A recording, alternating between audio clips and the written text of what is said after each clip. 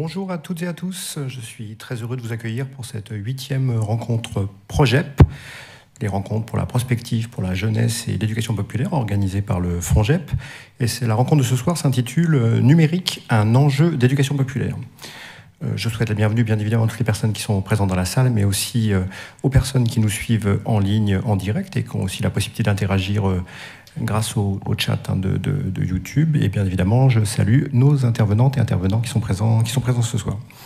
Avant de, avant de lancer cette soirée et, de laisser la, place à, notre animateur, je souhaitais vous rappeler que cette rencontre s'inscrit dans un cycle hein, de, de conférences prospectives qui interroge l'éducation populaire, à la fois au niveau des pratiques des acteurs associatifs, euh, mais aussi au niveau des politiques publiques qui sont mises en œuvre pour euh, répondre à ces, à ces enjeux.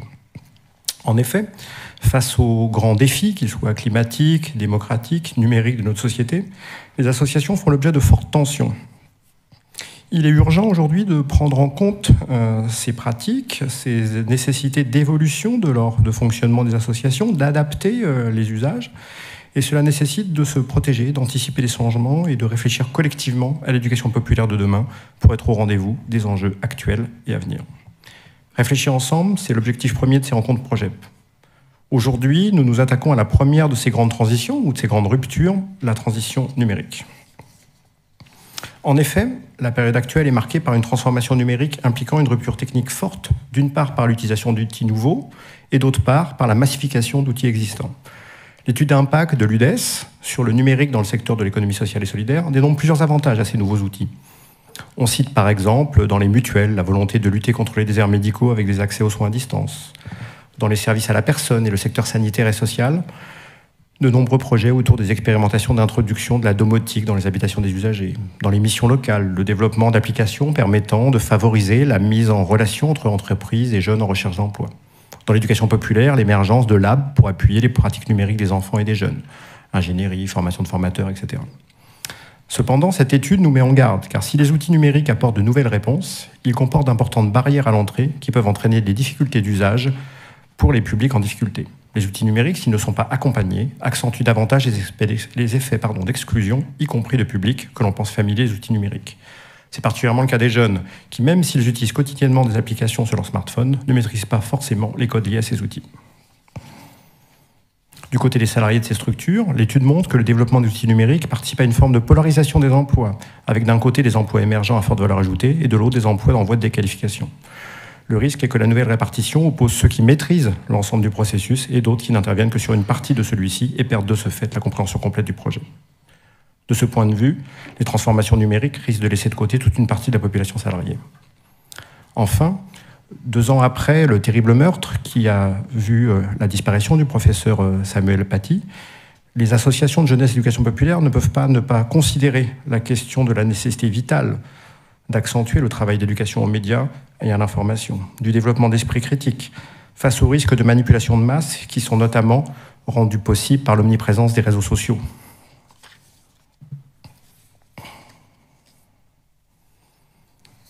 Excusez-moi, j'ai perdu mon fil, pardon. Euh, comment remédier à tout cela? Comment les, comment les réseaux d'éducation populaire s'emparent de la question du numérique? En quoi les nouveaux médias modifient le rôle éducatif des associations de jeunesse d'éducation populaire? Comment articuler actions associatives et numériques avec les politiques publiques qui y sont liées?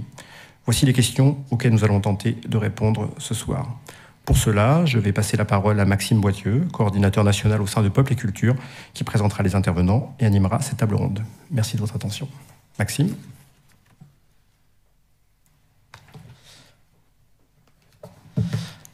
Euh, bonjour à, toutes et à tous. Euh, merci Patrick pour ce, mot d'ouverture.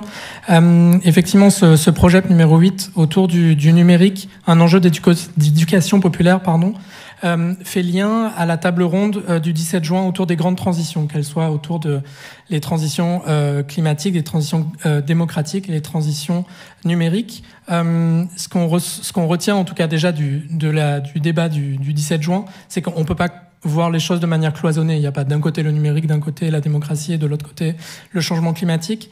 Et il y a un enjeu en tout cas de créer des espaces communs euh, autour de ces questions, des espaces communs euh, entre l'État, les associations et les citoyens et citoyennes. Euh, un deuxième enjeu est autour de faire un état des lieux de ce qui existe déjà cet état des lieux du, déjà là. Et enfin, il y a un enjeu en tout cas de, de sensibiliser les personnes. Et au-delà de sensibiliser, c'est aussi d'accompagner et de former. Euh, c'est autour donc de ces trois ces trois points euh, que l'on a que l'on a construit euh, la, le, débat et la, table ronde d'aujourd'hui, le projet numéro 8 d'aujourd'hui.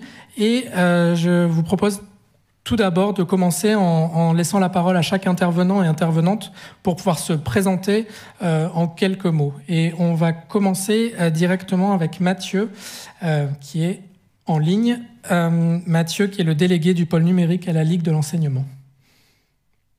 Bonjour, j'espère que le son est bon.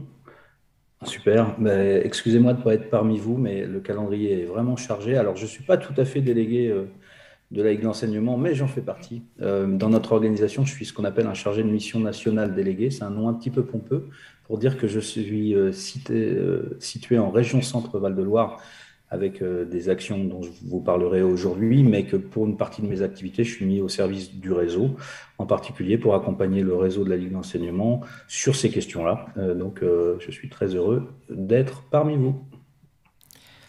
Merci Mathieu. je donne maintenant du coup la, la, parole à Maïka Seguin, qui est donc la directrice régionale de la Fédération régionale des MJC PACA. Ben, merci Mathieu, vous avez tout dit, du coup c'est parfait. Dans, une autre casquette, j'ai eu l'opportunité aussi de piloter un projet de création d'un kit pédagogique d'éducation aux médias et l'information qui s'appelle Desinfox et dont je vous parlerai tout à l'heure. Merci. Donc, sans trop en dévoiler, je donne la parole maintenant à Luc Roussel. Donc voilà, donc euh, délégué à la Fédération des centres sociaux du Nord-Pas-de-Calais, en charge plus de la dimension prospective dans cette fédération. Merci. Noémie Oxley. Bonjour, euh, je suis Noémie Oxley, euh, je suis euh, maître de conférences et chercheur à l'Université américaine de Paris. et moi, je parle aussi au nom de Jessica Feldman, avec qui on a fait cette recherche, qui est également chercheur et maître de conférences à l'Université américaine de Paris, dans le département de médias, culture et communication. Emmanuel Porte. Oui, Emmanuel Porte. Moi, je suis chargé d'études et de recherche à, l'INJEP, l'Institut national de la jeunesse et de l'éducation populaire. Et donc, je travaille, euh, entre autres, sur les questions d'éducation populaire, de vie associative, sous l'angle à la fois du numérique et de l'environnement, comme on a pu avoir l'occasion, effectivement, d'en discuter déjà un peu au mois de juin. Merci beaucoup. Euh, on va euh, donc entrer directement dans le, dans le sujet, donc dans la première partie donc de ce, projet, euh, cette première partie qui s'intitule Éducation populaire et numérique.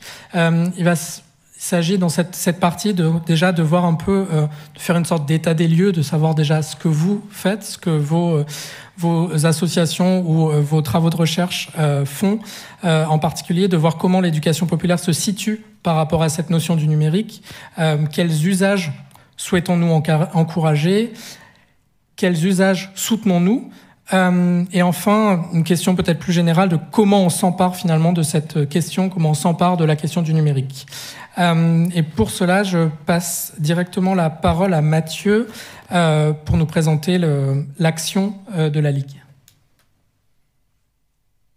Bien, merci. Donc, on a six minutes, hein, c'est ça, d'après euh, la petite préparation. Bon, c'est, faut me faire des grands signes parce que je suis un bavard.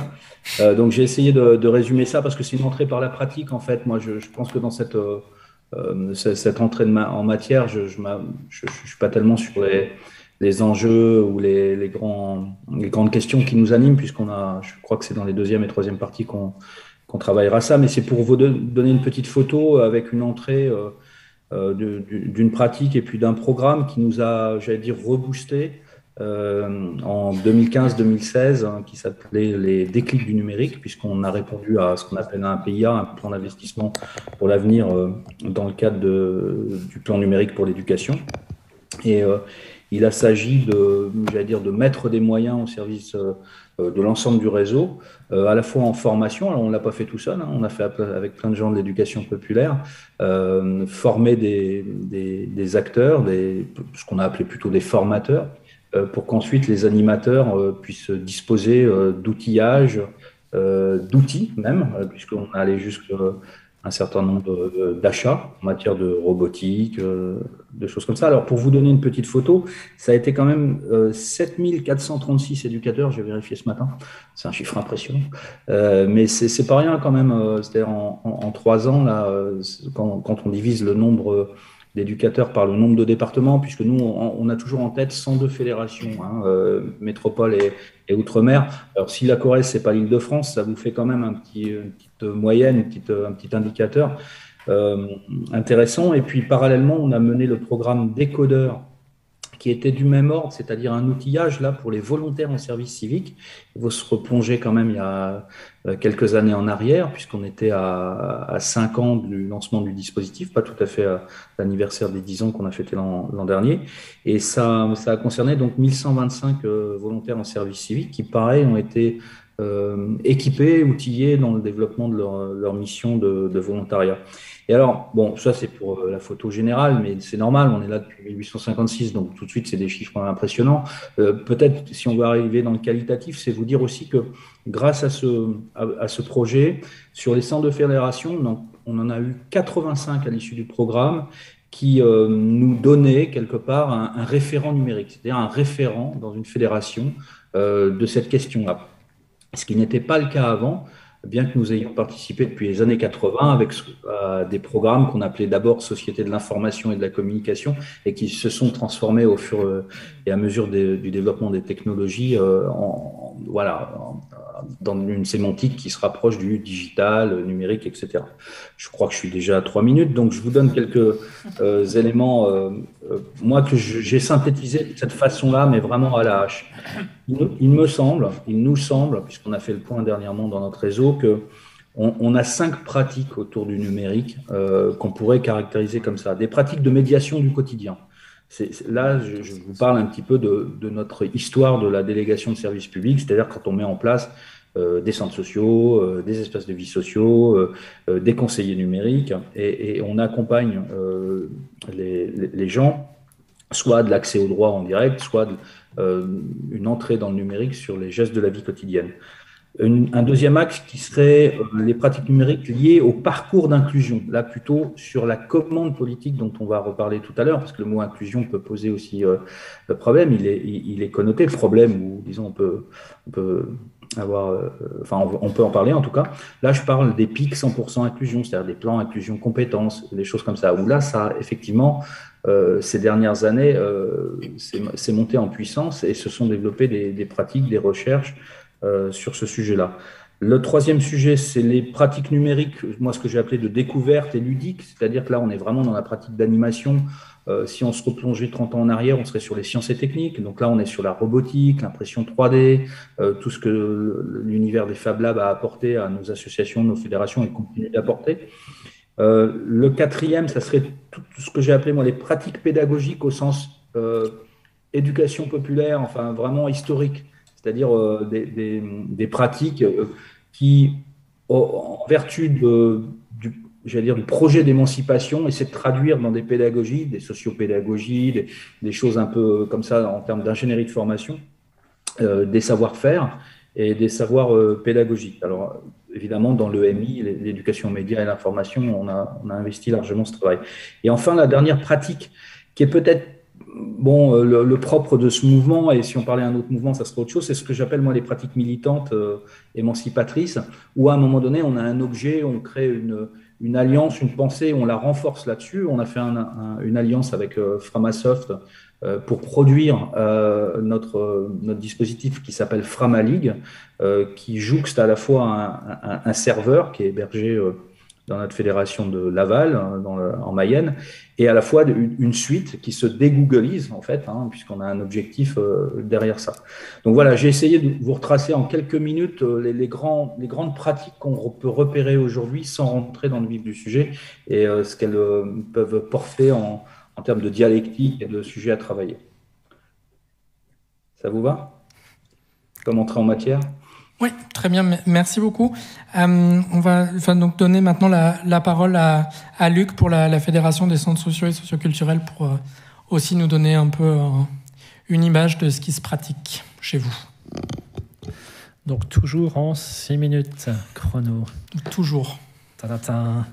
Alors, donc, la Fédération des centres sociaux Nord-Pas-de-Calais, hein, c'est une fédération de 170 centres sociaux fédérés hein, dans le département du Nord et du Pas-de-Calais. Et moi, je vais vous causer d'un projet là, qui s'appelle Centres sociaux connectés, euh, qui a commencé euh, en 2017 avec 8 centres sociaux de Lille et puis qui a très vite essaimé dans 60 centres sociaux de Nord-Pas-de-Calais, et puis avec aussi un projet cousin euh, qui était le projet Centres connectés des pays Picard. Et puis passe la crise Covid, et puis après la crise Covid, euh, ben, vu l'enjeu numérique, on a cherché collectivement à structurer, massifier, généraliser cette démarche, cette opération centre socio-connecté, donc à l'échelle de Haute-France, dans l'ensemble du réseau. Donc, ce qui fait qu'aujourd'hui, euh, ce projet, à travers deux projets cousins, le projet des Pays Picard et le projet Nord-Pas-de-Calais, touche à la fois 150 centres sociaux côté Nord-Pas-de-Calais et 38 centres sociaux côté Pays Picard. Donc là, on est vraiment sur le retour d'expérience de quelque chose d'assez massif dans les Hauts-de-France. Voilà le contexte. Euh, les approches fondamentales de la démarche sans se connecter, c'est dire l'important face à cette transition numérique hein, qui est fulgurante, n'est pas tant la question d'investissement, mais celle des usages. C'est pas tant celle de l'accès au droit que de passer un cran sur l'inclusion, mais aussi par-delà l'inclusion sur la, sur la transition, les transitions numériques et la question de l'innovation liée aux usages numériques c'est de ne pas être son approche liée à des publics cibles ou des thématiques cibles, mais c'est bien d'avoir une approche globale, transversale, quels que soient les âges, les milieux sociaux, les conditions de vie sur un territoire, qu'on soit loin ou proche de tout ça. Et puis, c'est de dire, le numérique, ça gratte, c'est un problème, mais ça peut, être, aussi un levier, partir des envies, des désirs, des potentialités, des habitants eux-mêmes, pour en faire un levier d'émancipation pour les gens et pour le territoire et avec une méthode, nous, qui l'approche euh, ben, liée au soutien, au développement du pouvoir d'achat des habitants, de dire c'est quelque part la, méthode qui fait le projet, c'est le, fait de co-construire avec les personnes concernées elles-mêmes qui fait projet sur un territoire. Et connecté pour dire qu'on est connecté à la fois numérique, mais pas que, connecté d'abord aux gens, et puis connecté aux grandes transitions, aux innovations. Euh, et tout ça dans une perspective, euh, j'irais, politique de dire, hein, et c'est le, sens du manifeste hein, qu'on avait écrit au niveau national et qui était sorti euh, il y a un an et demi, de dire voilà, euh, ce manifeste des sciences sociaux de France pour un numérique humain et solidaire. C'est bien notre perspective d'avoir une euh, visée politique et stratégique par rapport à cet usage lié au numérique. Alors vous allez me dire, mais concrètement, comment ça s'incarne cette approche globale, transversale, à toutes les échelles du centre social? Il me reste combien de temps? Bon, encore un peu de temps. Comment ça s'incarne? Alors, souvent, alors, euh, j'ai oublié de dire, tout ça, ça a été possible parce qu'il y a eu un. Euh, et il y a aujourd'hui encore un compagnonnage des politiques publiques, à la fois la, région et l'Europe, avec des financements fédères structurants, mais aussi le droit commun des politiques sociales, que sont les politiques sociales des CAF et des départements et d'autres partenaires. Euh, comment ça s'incarne? Souvent, dans les projets sans se connecter, ça commence par la digitalisation du centre social, très clairement. C'est la montée en compétences des salariés, des bénévoles, des habitants. Euh, la question de la communication interne, de la coopération interne, le numérique comme outil de coopération interne, c'était accéléré durant la crise Covid, ou de coopération externe, mais toujours en co-construisant avec les personnes elles-mêmes. Par exemple, j'ai en tête des, ruraux connectés en Nord-Pas-de-Calais, sur des territoires de 20 à 40 villages. Euh, et de dire, bon, ils ont commencé par créer, ok, le portail Internet, vous connaissez, mais avec le portail Internet, co-construire avec les personnes concernées l'appli Mon centre social dans la poche pour avoir les informations au quotidien dans son smartphone de la vie du centre social. Et puis ensuite les SMS pour communiquer auprès des habitants des villages sur ce qui se vivait comme, comme actualité dans la vie des quartiers, des villages de la ruralité. Donc voilà, c'est très concret, hein, mais fait avec les personnes concernées elles-mêmes. Euh, donc un gros volet de digitalisation du centre social, le volet bien entendu inclusion numérique, mais toujours en cherchant à construire avec les personnes concernées. Par exemple, au début du projet à Lille, euh, le, premier caillou qui grattait, c'est la question d'accès au droit, d'être largué. Et donc c'était de construire avec les personnes, les habitants, des bornes numériques fixes ou itinérantes, mais adaptées à leurs usages, hein, qui soient pour pouvoir euh, accueillir pour pouvoir accompagner au mieux les habitants dans le quartier, dans ou hors les murs hein, du centre social. En matière éducative, vous l'avez dit en introduction, mais on utilise beaucoup un levier ludique, euh, parce que de fait, le numérique, ce n'est pas d'abord un changement d'outil, mais c'est un changement de culture, un changement de langage. On rentre dans la culture digitale, la culture numérique, et donc c'est la dimension ludique pour s'approprier les choses. Au lancement de la démarche, par exemple, il avait été construite avec des, enfants, des jeunes, des familles, la Maldali, pour pouvoir s'approprier sans utiliser une seule fois la tablette, c'est ça qui est intéressant, un écran, la culture digitale, la culture numérique, la question du codage, la question du rapport à cette culture, et qu'on continue à utiliser pour faire un travail de pédagogie euh, sur les territoires auprès des habitants. en matière de jeunesse, on sent bien que voilà, le numérique comme levier, alors que lorsque un groupe de jeunes est, accompagné pour construire une borne arcade, une, borne de jeux vidéo, ben c'est chouette, ou était à monter une web radio, ben c'est des pratiques très concrètes pour aider à faire du numérique un levier. Ou lorsque, en matière d'entrée d'entre habitants, je vois sur un territoire euh, comme le Donésie, avec le contexte que vous connaissez dans le Donésie, bah de dire euh, l'entrée dans habitante, elle passe par une outiliothèque et c'est numérique comme levier de la construction d'outiliothèque entre les habitants du territoire et l'interface outiliothèque est construite et, euh, animée par les personnes concernées elles-mêmes, bah c'est chouette, c'est le numérique qui devient levier d'une capacité d'agir des personnes sur un territoire et des groupes sur un territoire. Où je pense aujourd'hui, on parlait du croisement entre les différents défis numériques et écologiques, bah, au croisement de tout ça, lorsqu'on travaille sur euh, l'essaimage des cafés dans les Hauts-de-France, eh ben, c'est faire du Repair Café un outil d'entraide, un outil euh, où le numérique il est perçu comme euh, une ressource, hein, bah, typiquement l'imprimante 3D pour euh, faire une pièce qu'on ne trouve pas, ou le Repair Café numérique avec des, comment dire, des, appareils informatiques qui, ont besoin d'être réparés et à travers l'entrée d'entre habitants, quelque chose qui se, joue de ce côté-là. Donc c'est jouer sur la diversité des, supports pour pouvoir faire le lien avec les habitants sur un territoire. Voilà, et j'arrêterai là et je développerai par après. Merci. Merci beaucoup. Euh, va maintenant donner la parole à, Maïka pour euh, nous parler de, des actions dans les, dans les MJC. Alors les, les, MJC sont saisis de la question du numérique au travers de l'éducation aux médias et à l'information. Donc ça c'est bien notre projet, former les citoyens de, les citoyens de demain. Et tout ceci a commencé en 2015-2016 en fait. 2015-2016, nos collègues euh, en Alsace sont interpellés par des jeunes qui viennent voir les animateurs et qui leur disent écoutez, il y a des, discours de haine sur les réseaux sociaux, il y a des choses qui se passent sur le web, il faut qu'on fasse quelque chose, on ne peut pas rester comme ça. Et donc est né un premier outil qui s'appelle, j'allais dire s'appeler, mais il existe encore, savoir comprendre et agir pour dire non à la haine. Le propos était initialement de travailler ces questions de lutte contre les discriminations, de racisme euh, et de déconstruire les mécanismes il y avait trois modules dans cet outil-là qui avaient déjà une première entrée média. En fait, on, abordait cette question-là de, lecture d'images, du sens des mots et du lien entre les, photos et les mots et, ce que ça dit derrière. 2018, notre réseau national convoque, entre guillemets, invite, devrais-je dire, les animateurs et animatrices de cet outil pédagogique, donc qui étaient présents dans toute, euh, toute la France, et les animateurs font remonter un besoin essentiel. Ils disent on ne va pas assez loin avec nos trois modules euh, sur, la question des médias. Il faut qu'on aille plus loin, il faut qu'on creuse encore cette question-là, il faut qu'on ait un outil ad hoc. 2019, la Confédération des MJC de France me confie euh, cette mission lourde et compliquée de travailler un, un outil pédagogique sur l'éducation aux médias et à l'information. Euh, je me suis dit, OK, ça vient du terrain, donc on va déjà, dans le groupe de travail, dans la conception, mettre des gens des MJC, des, des gens qui sont vraiment au contact des jeunes, voir un peu ce qui, ce qui, ce qui émerge comme besoin. On met aussi autour de la table des enseignants-chercheurs. Il n'était pas question pour nous de, de, faire un truc hors sol, euh, de faire un truc MJC, pro-MJC, pour MJC. Non, on a élargi. On met les collègues de Jeunesse et Sport qui étaient là aussi. On met des journalistes, évidemment. Comment traiter cette question-là sans eux? Et on met euh, le collectif de recherche transdisciplinaire Esprit critique et science. Je vous invite à aller creuser un peu cette, question-là qui, qui, rejoignent l'aventure. Et voilà, on se retrouve à une petite dizaine autour de ça. C'est euh, un, an de, conception, hein, vraiment, un an de réflexion. Et l'outil donc des Infox c'est à l'image des personnalités et des parcours des gens qui avaient autour de la table. Donc l'outil des Infox propose une approche en six modules différenciés, mais complémentaires. Et surtout, l'approche globale du kit est de ne pas être euh, manichéen, de ne pas dire ceci est vrai, ceci est faux. Il permet de poser des bases de réflexion, des bases de compréhension et donc d'entraîner l'esprit à décrypter les informations qui nous, qui nous parviennent.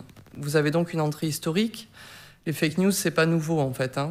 Il y en a eu euh, dans l'histoire de l'humanité un paquet. Et puis on voit, ce qui est intéressant, c'est de voir qu'on voit aujourd'hui ressortir des fake news un peu plus anciennes. Alors elles sont un peu détournées, mais le fond est le, même. On a une entrée linguistique. Alors ça, on connaît assez bien. Hein. C'est le, côté langue de bois. Comment les mots, comment les phrases impactent notre manière de comprendre une réalité. Et d'orienter notre, notre pensée. On a une approche journalistique, évidemment. quel est le travail d'un journaliste Qu'est-ce qu'il doit faire Comment il vérifie ses sources Quelle est la charte de déontologie qu'il respecte Et du coup, comment il produit un travail de qualité Ou pas c'est selon. Une approche scientifique. Que dit la science euh, sur cette question-là euh, comment, la science, euh, comment la science pardon, estime qu'une preuve est fiable? Jusqu'où va-t-elle? Qu'est-ce qu'il faut pour la science pour dire ceci est vrai Jusqu'à ce que ce soit faux, c'est l'approche scientifique. Un travail d'enquête. Là, on a des étudiants euh, qui, se sont, euh, qui se sont saisis de, fake news scientifiques et qui ont euh, repris tous ces éléments-là pour déconstruire ces fake news. Et donc, sur des, ce sont des pocket films d'une minute trente, deux minutes maximum, qui permettent de poursuivre les débats avec, avec les participants. Et voilà, nous avons lancé des Infox l'année dernière, un an après l'attentat contre Samuel Paty à Conflans-Sainte-Honorine, à la MJC. Euh, c'est un outil qui, depuis, est euh, présent dans toutes les régions en France. Euh, c'est près de 130 animateurs formés à ce jour et des sessions de formation, encore une qui commence dès demain. on vise 100 000 jeunes hein, sensibilisés à cet outil pédagogique et puis des partenariats à venir puisque nous sommes sollicités maintenant par, par les services pénitentiaires en fait pour aller intervenir auprès de, de, détenus ou de personnes suivies pour pour radicalisation. Donc on est vraiment dans, voilà, dans cette formation de l'esprit, dans cette déconstruction de mécanismes de pensée. Voilà pour euh, ma part. Merci beaucoup. Euh, on va maintenant donner la, la parole à, à, Noémie, Noémie Oxley, euh, qui, euh, en tant que chercheuse, va aussi donc nous, nous donner évidemment une, une, autre approche. Et avec cette question, en fait, de savoir voilà, de, de quelle façon les associations utilisent-elles et conçoivent-elles les outils numériques voilà, de manière plus, euh, avec une autre approche euh, qui nous permet un peu d'avoir un regard plus euh, divers. Le titre était très très long, effectivement. Alors voilà, donc notre projet avec Jessica, c'était d'étudier, enfin c'est d'étudier l'impact des outils de communication sur le fonctionnement en ligne d'associations qui luttent en général, donc les associations qu'on a choisies, avec lesquelles on a travaillé, qui luttent pour la justice sociale et l'environnement. Euh, c'est à la fois une étude ethnographique et puis je parlerai un tout petit peu plus aussi d'autres outils théoriques qu'on a. Le terrain, c'était des petites structures ça, allait de petites structures d'aide au logement euh, aux États-Unis, euh, des associations aussi d'aide aux migrants et aussi des grosses organisations, des assemblées citoyennes. L'idée, c'était de comprendre comment le fonctionnement, l'identité, l'intégrité de ces associations sont durablement traversées par la révolution numérique et surtout, si, surtout euh, quand elles ne sont pas du tout habituées à fonctionner avec le, numérique et qu'elles doivent s'y adapter. Et là, je pense particulièrement euh, à la crise Covid qu'on vient de, traverser. Voilà. Et la question, c'est vraiment est-ce que les outils, les outils numériques permettent une autogouvernance et une démocratisation du fonctionnement de ces associations-là? Que ce soit la prise de parole, les décisions, euh, la division des tâches, du travail. Est-ce que euh, leur présence en ligne, aussi, euh, réseaux sociaux particulièrement, sont nécessaires à leur existence? Voilà. Donc nous, on avait une approche pluridisciplinaire. D'abord une étude ethnographique, que ce soit observation participante, interview, mais aussi aussi une une, enfin aussi essayer de tenter de comprendre euh, les euh, outils de communication et la façon dont l'environnement politique et culturel des enquêtés produit et est produit par l'innovation technologique. Voilà, la façon dont cette transformation numérique des moyens de communication les, euh, les transforme eux. Voilà, donc on a travaillé sur les usages d'abord d'outils de, communication pratiques, pardon, traditionnels, et aussi on a pas en penser aussi à la conception d'outils de communication par des associations qui décident de s'éloigner euh, d'outils de communication, je dirais, de plateformes privées. Alors, euh, la question, c'est l'impact sur la transition hein, vers le virtuel, virtuel. Alors, on voit qu'il y a des effets négatifs et d'autres positifs. Les effets négatifs, c'est souvent qu'il y a une réduction de la participation, que c'est euh, un mal nécessaire. Euh, mais ça aussi, ça implique une nouvelle hiérarchisation du travail. Il y a des nouveaux conflits qui apparaissent, des dynamiques de pouvoir euh, euh, et des fonctionnements passés qui se reproduisent avec les, les plateformes. L'autre problème, c'est la question de l'accessibilité des rôles d'administrateurs, euh, de modérateurs, la question des temps de parole, enfin bon, toute une série de, conflits habituels aux associations qui se reproduisent et qui sont aussi reproduits par la nature même de ces infrastructures. Et l'autre problème, c'est évidemment la question de la vie privée, euh, des données, euh, du, du, stockage des données, surtout dans le cadre d'associations qui travaillent avec des personnes qui sont précaires ou qui sont habituées à, bah, à faire un travail militant. Quoi. Voilà, au niveau de la conception de ces outils, euh, le problème, c'est que souvent, c'est un environnement de travail précaire, euh, des designers qui sont souvent euh, bénévoles, souvent peu d'équipes soudées et des besoins, en fait, compliqués, je dirais, un peu de façon prosaïque, compliqués à gérer. C'est-à-dire, comment on fait pour créer des sentiers de dépendance, c'est-à-dire établir des protocoles de communication qui deviendraient une seconde nature et qui serait conçu à l'image euh, des valeurs de ces associations-là. Donc on a des grosses associations qui voudraient pouvoir, mais même par exemple euh, des associations liées aux au Gilets jaunes, qui, pourraient qui voudraient avoir des outils de communication qui soient absolument indépendants et qui leur permettraient de communiquer entre eux, leur permettraient de s'organiser entre eux à l'image de ce qu'ils sont et de leur identité. Voilà. Donc, euh, j'ai 3055, deux minutes. Euh, c'est parti. Euh, alors. Donc, ce qu'on peut dire, c'est que au cours de notre étude, il est apparu de façon récurrente que les groupes associatifs ont besoin de ces outils suivants des plateformes de réseaux sociaux pour le partage d'idées et de relations plus sécurisées, avec une modération de contenu conforme à des missions prédéfinies. Euh, des plateformes collaboratives, rédaction, élaboration de lois et de référendums, enfin de prise de décision qui soutiennent mieux les discussions et qui permettent pour les groupes importants différentes formes de vote plus de fonctionnalités, euh, mais aussi des outils de vidéoconférence qui préservent la vie privée, qui permettent la traduction simultanée, par exemple, parce que souvent, quand on, est, euh, on travaille avec des, groupes et des personnes précaires, là, je pense à une association euh, de droit au logement, par exemple, aux États-Unis, où il y a besoin de, traduction en plusieurs langues, et qui préservent la confidentialité et permettent un accès facile. voilà. Et ce dont les résultats, en fait, qui peuvent bénéficier au monde associatif, donc de plusieurs manières.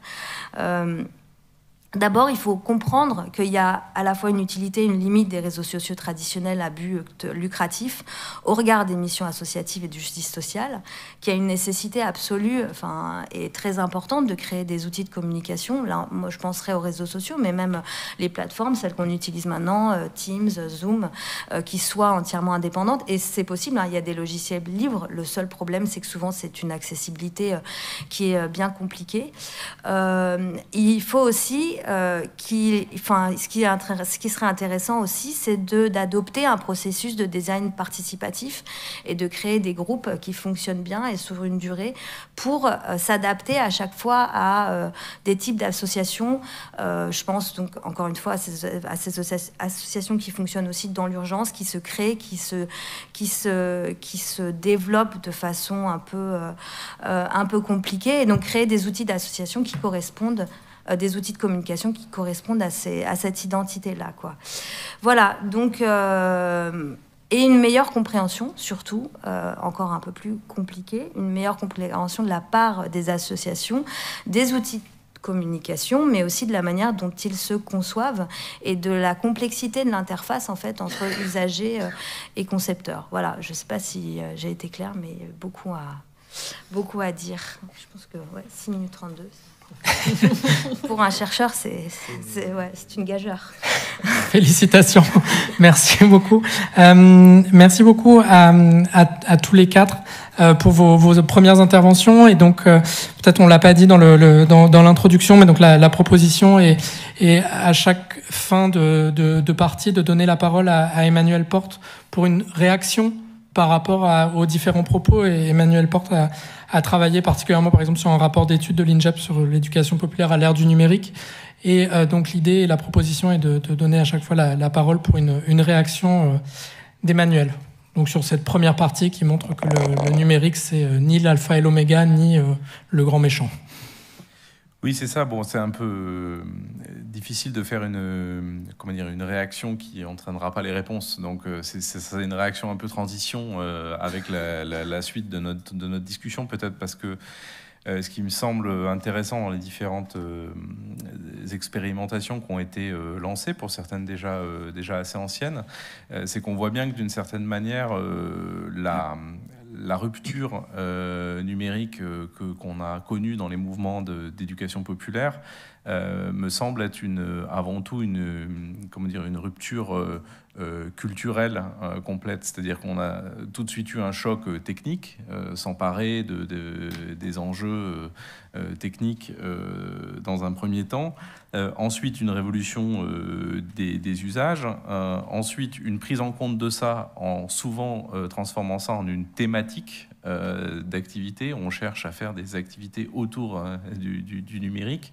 Et je pense que là, en fait, probablement que la nouvelle euh, euh, comment dire, euh, période qui s'ouvre, c'est d'arrêter de, nommer le numérique en tant que tel comme un champ d'activité parmi d'autres, mais de voir comment tout un tas de pratiques numériques irriguent euh, les pratiques pédagogiques, euh, les projets euh, éducatifs, les modalités de délibération, les, les manières d'opérer aussi la formation à l'échelle à la fois des associations et des réseaux. et je pense que c'est cette question-là qui est probablement un peu devant nous, c'est comment est-ce que finalement on, refait du numérique un élément de la réflexion culturelle et pédagogique plus générale des, mouvements mouvement euh, d'éducation populaire euh, et comment finalement on tient compte de ce qui s'est expérimenté dans, ces dans cette phase, on va dire, initiale, ces, ces 20 premières années de généralisation de l'Internet et du développement des usages, qui a été en gros globalement euh, une très très forte valorisation des expériences d'autodidaxie.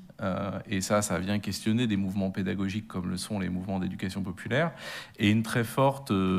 et, on va dire expérimentation permise par un abaissement du coût de la production. Et donc il est devenu très très facile pour euh, les publics euh, concernés euh, par, pour, pour, chacune des associations de devenir des acteurs d'une production culturelle, individuelle ou, collective, là où avant, évidemment, pour euh, faire un, faire un film ou même euh, animer une, radio comme on pouvait le faire euh, dans le, les, des, associations d'éducation populaire, on avait besoin de toute une ingénierie collective et technique qui là le coup s'est rabaissé, on peut expérimenter beaucoup plus de choses à une échelle individuelle. Donc probablement que ça change un peu le rapport à la pédagogie et probablement un peu les métiers, mais je crois que c'est un peu ce dont on va parler pour la suite.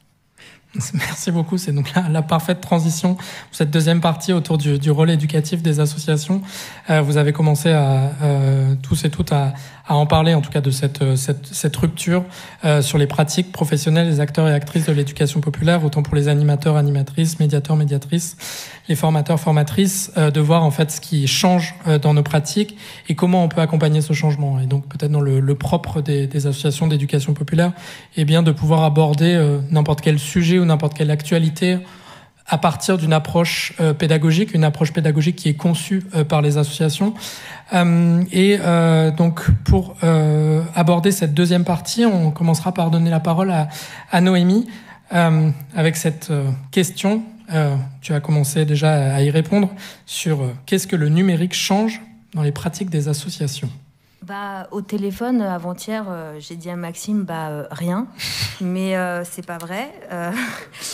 C'était pas vrai, euh, mais un peu quand même. C'est-à-dire que moi, en, par... Donc, en tant qu'ethnographe, je vous dirais que la plupart des gens à qui on parlait disaient que le numérique, c'était plutôt euh, pour eux une entrave, que c'était un mal nécessaire, qu'ils en avaient besoin, euh, mais que ça ne, ça ne remplacerait jamais le, travail, le travail qui se fait en, en physique. Quoi.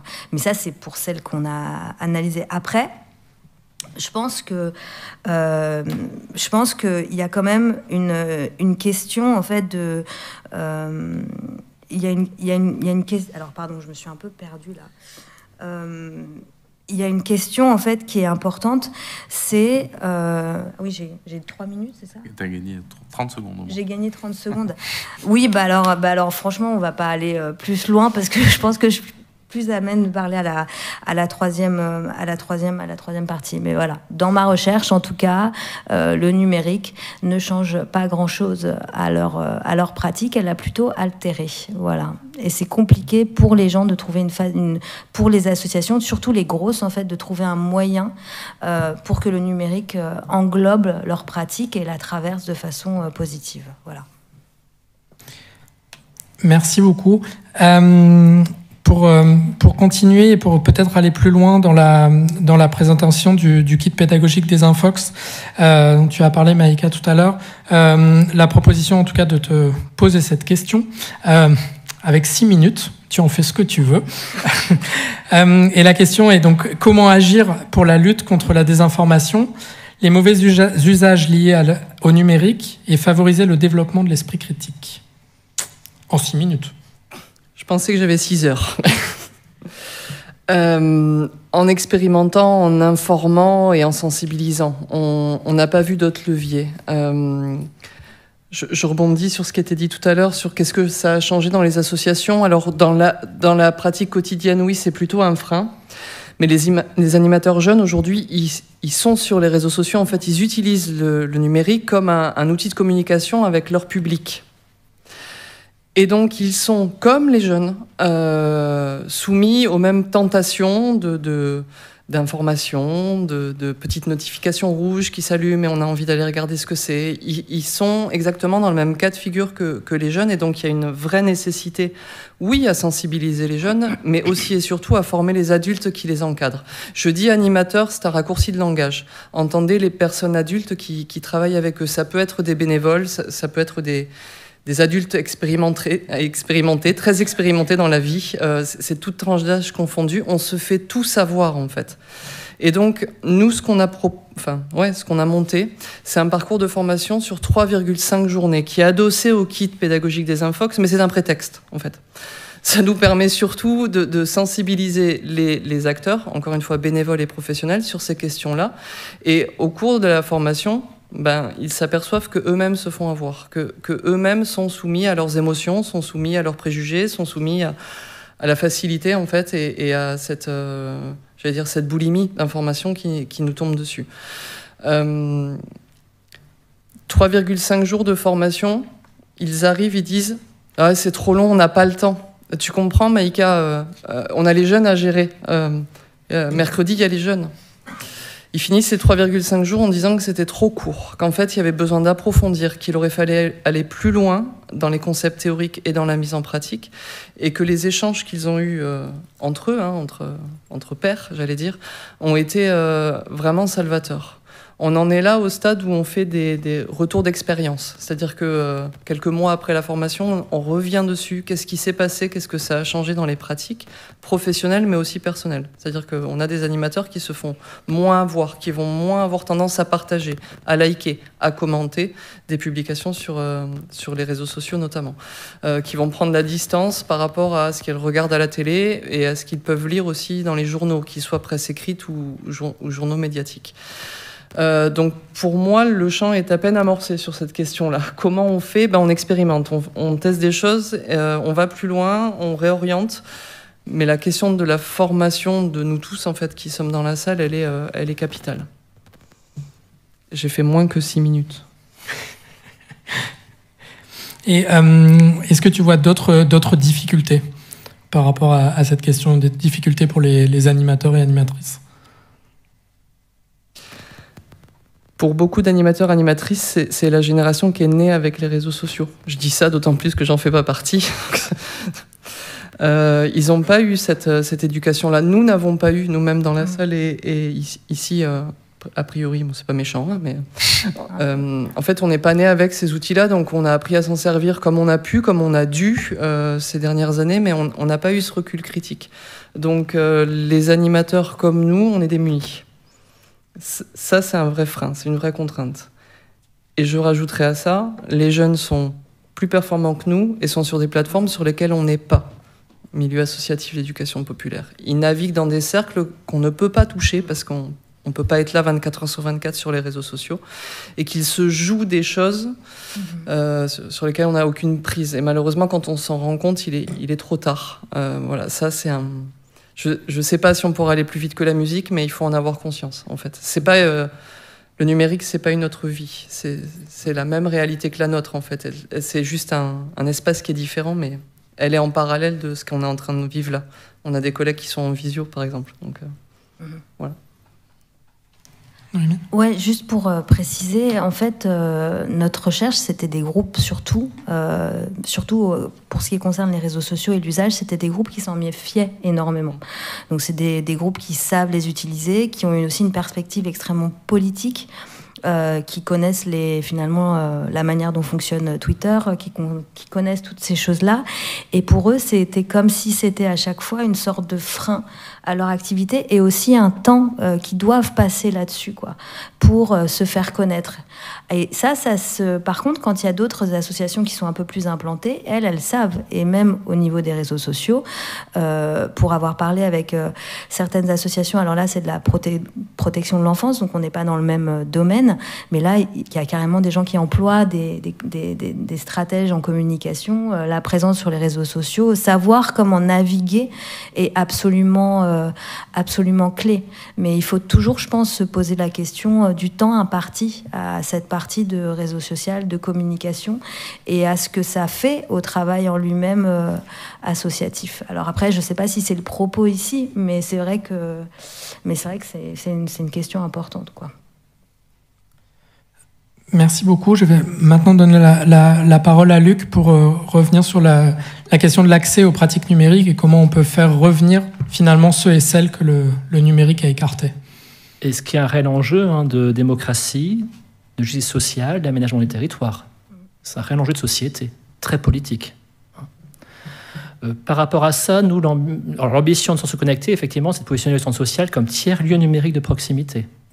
Et donc espace ressources en proximité sur les territoires pour, euh, pour faire système sur un territoire, transformer le territoire de manière massive euh, et faire système avec d'autres territoires, entre territoires. C'est ça notre ambition. Donc comment faire levier concrètement sur les territoires, notamment euh, dans la France des banlieues, dans la France des quartiers populaires, dans la France des centres-villes, dans la France périurbaine, et des quartiers périphériques et des territoires périphériques. Donc c'est un réel enjeu d'aménagement de territoire et de démocratie.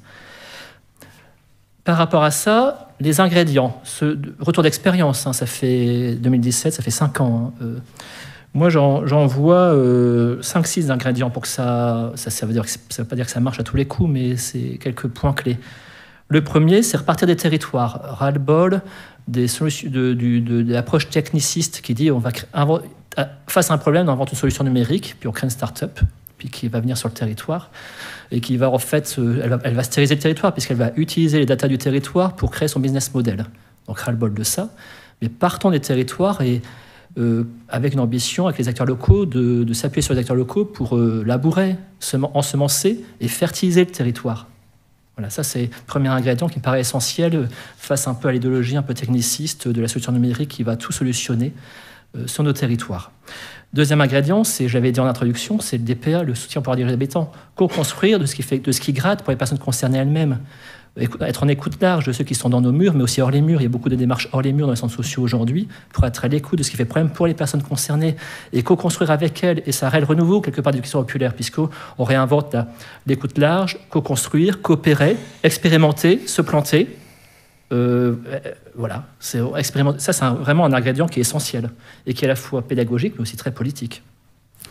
Troisième ingrédient, c'est la dimension ludique. J'y reviens parce qu'il y a toujours une image d'animation ludique qui est un peu socioculturelle, gélatineuse. On fait du ludique. Non, la dimension ludique, en fait, a une dimension politique très forte. C'est de dire, le numérique, c'est pas un nouvel outil, c'est un nouvel, nouveau langage, une nouvelle culture, un nouveau monde digital. Et donc, il faut pouvoir l'appréhender Autrement, on est déclassifié. On fait un complexe d'infériorité, on se sent déclassifié. la dimension ludique, ça permet de ne pas se sentir déclassifié, d'appréhender cette nouvelle culture digitale. La semaine dernière, sur un des territoires que j'accompagne, que je termine d'accompagner en Sambre-Avenois, donc euh, vous voyez le Marois, la Jeanlin, euh, voilà. Euh, bah, il y avait le Gamine Landrecy. 400 personnes, enfants des jeunes familles seniors, venant de tout le territoire pour vivre une journée ludique avec le centre social connecté de Landrecy et les partenaires du territoire. Et c'était assez fabuleux on démystifie le rapport au numérique avec les, avec, avec les vrais gens, enfin avec les personnes du territoire, quoi, ceux qui paraissaient les plus éloignés. Et avec plein d'outils, de stands, d'espace, on expérimente. Parce que dans la dimension numérique, on réapprend aussi à expérimenter, à, concrètement, avec, à expérimenter les choses. Quatrième ingrédient, je ne sais plus où j'en suis, mais c'est pas grave. Euh, on parlait du projet associatif. Nous, ce qui fait levier, c'est que ce soit le numérique soit à tous les étages du projet associatif, dans sa dimension politique, euh, dans sa dimension organisationnelle, organisation interne et externe aussi, le rapport au territoire, dans, vous à la fois des salariés, mais aussi de la gouvernance et la manière de gérer, d'animer la gouvernance démocratique dans un centre social dans une approche ouverte, territoriale. Vous voyez, donc c'est comment l'ingrédient, c'est aussi de faire évoluer son projet associatif et son l'organisation concrète de l'association sur le territoire. Un autre ingrédient qui me paraît important, c'est, et euh, Emmanuel a, commencé à l'évoquer, c'est la question des métiers. Nous, on a expérimenté qu'au début, effectivement, euh, dans les années 90, on a expérimenté des premiers métiers qui étaient ceux de médiateur numérique dans les cybercentres. Hein. Euh, alors c'était chouette, hein. mais là, on sent que on va sur autre chose qui est quelque part les, métiers qui sont développés. Je vois en Nord-Pas-de-Calais, on a 50 euh, aujourd'hui une cinquantaine de chargés de transition ou de chargés d'animation d'innovation. C'est des gens qui sont en appui à la transition numérique du territoire, ancrés dans un des centres hein, ou dans plusieurs centres sociaux d'un territoire pour accompagner à la fois l'inclusion, la transition numérique du territoire, c'est les habitants, les salariés, les bénévoles, les administrateurs, les partenaires locaux, les partenaires sociaux et pour accompagner aussi l'innovation numérique. Donc c'est aussi une évolution des métiers, pas forcément le spécialiste qui va faire face à face pédagogique et les seuls au front, et chez qui on oriente tous les problèmes, mais plus une animation transversale qui accompagne la montée en compétence du territoire, que je sois travailleur social de Pôle emploi qui est perdu, travailleur social du département, euh, animateur jeunesse, animateur enfance, famille, enfin voilà, les acteurs associatifs qui a besoin de se muscler sur, sur l'utilisation du numérique dans son projet associatif dans le territoire, c'est comment accompagner ça, vous voyez? En termes d'évolution des métiers. Et dernier ingrédient, c'est euh, la coopération décloisonnée, c'est que ça marche quand on arrive à faire système sur un territoire avec d'autres acteurs. Ok, les centres sociaux sont des généralistes en animation de la vie sociale, du développement social local, mais c'est comment on fait système, euh, alors avec tel acteur spécialisé comme Alice Connect, euh, par exemple sur toutes les filières de reconditionnement, là qu'on accompagne, on développe beaucoup les, on accompagne beaucoup le développement des filières de reconditionnement matériel sur les territoires, où je vois parler des repères café, on s'appuie beaucoup dans les Hauts-de-France sur l'AMRES, qui est vraiment l'acteur clé d'animation des repères fait dans les Hauts-de-France, hein. donc euh, l'acteur de la transition écologique dans les Hauts-de-France, un peu clé, et de dire en alliance comment on peut essaimer ça, développer ça sur les territoires. Donc c'est aussi inventer des coopérations décloisonnées pour faire système sur les territoires. Et j'arrêterai là. Merci beaucoup. Euh, on va donner maintenant la, la, parole à, Mathieu qui est, qui est derrière l'écran. Euh, tu as parlé tout à l'heure de cinq pratiques du numérique à la Ligue. Et donc la, question qui se pose, c'est comment en fait on intègre euh, à ces parcours, à ce parcours éducatif, comment on intègre à la fois les, les personnes qui en bénéficient et les, et les acteurs et actrices euh, de la Ligue. Oui, effectivement, c'est une question. Euh, ah, je vais baisser un peu le son parce que j'ai un écho de moi-même. c'est une question, je, rejoins un intervenant précédent qui est à la frontière du, j'allais dire, de l'analyse politique et en même temps de l'action, parce que euh, je, vais essayer de réserver pour la dernière partie la question de comment on, fait sur les territoires, quel, chemin prendre dans, le contexte euh, politique et social dans lequel on est. Mais euh, moi, je voulais vous partager, si vous voulez, une, une réflexion qui est la question de la fracture numérique.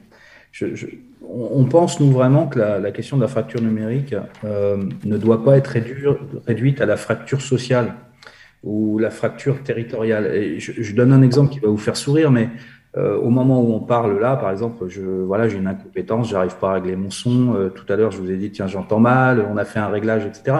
C'est-à-dire que on s'aperçoit quand même que dans le digital, plus on s'en sert, plus on est en fracture. Et euh, à partir du moment où on est en, capacité de s'adapter, comme là on l'a fait, bon bah voilà, on est expérimenté, c'est pas très gênant, les choses passent. Mais de plus en plus, depuis, moi je sens là, depuis 2015-2017, euh, les professionnels euh, bénévoles ou volontaires à qui on a confié le soin de monter en compétences sont eux-mêmes dans des difficultés permanentes qui euh, peuvent prendre ensuite deux chemins. le premier chemin, c'est bah, de, se professionnaliser, toujours d'avoir un temps d'avance euh, j'allais dire euh, comme avant. Euh, quand on allait demander nos droits, on avait des gens compétents qui nous disaient nos droits. Aujourd'hui, vous arrivez devant un agent, en général, il a découvert la, dernière, le dernier, la dernière fonctionnalité de son appli pour vous répondre. C'est-à-dire que on sent que les deux, les, deux fractures cohabitent, quoi, celle du bénéficiaire et celle de, de, celui qui est censé accompagner le bénéficiaire. Alors, encore une fois, je pense que là, il y a, deux options possibles.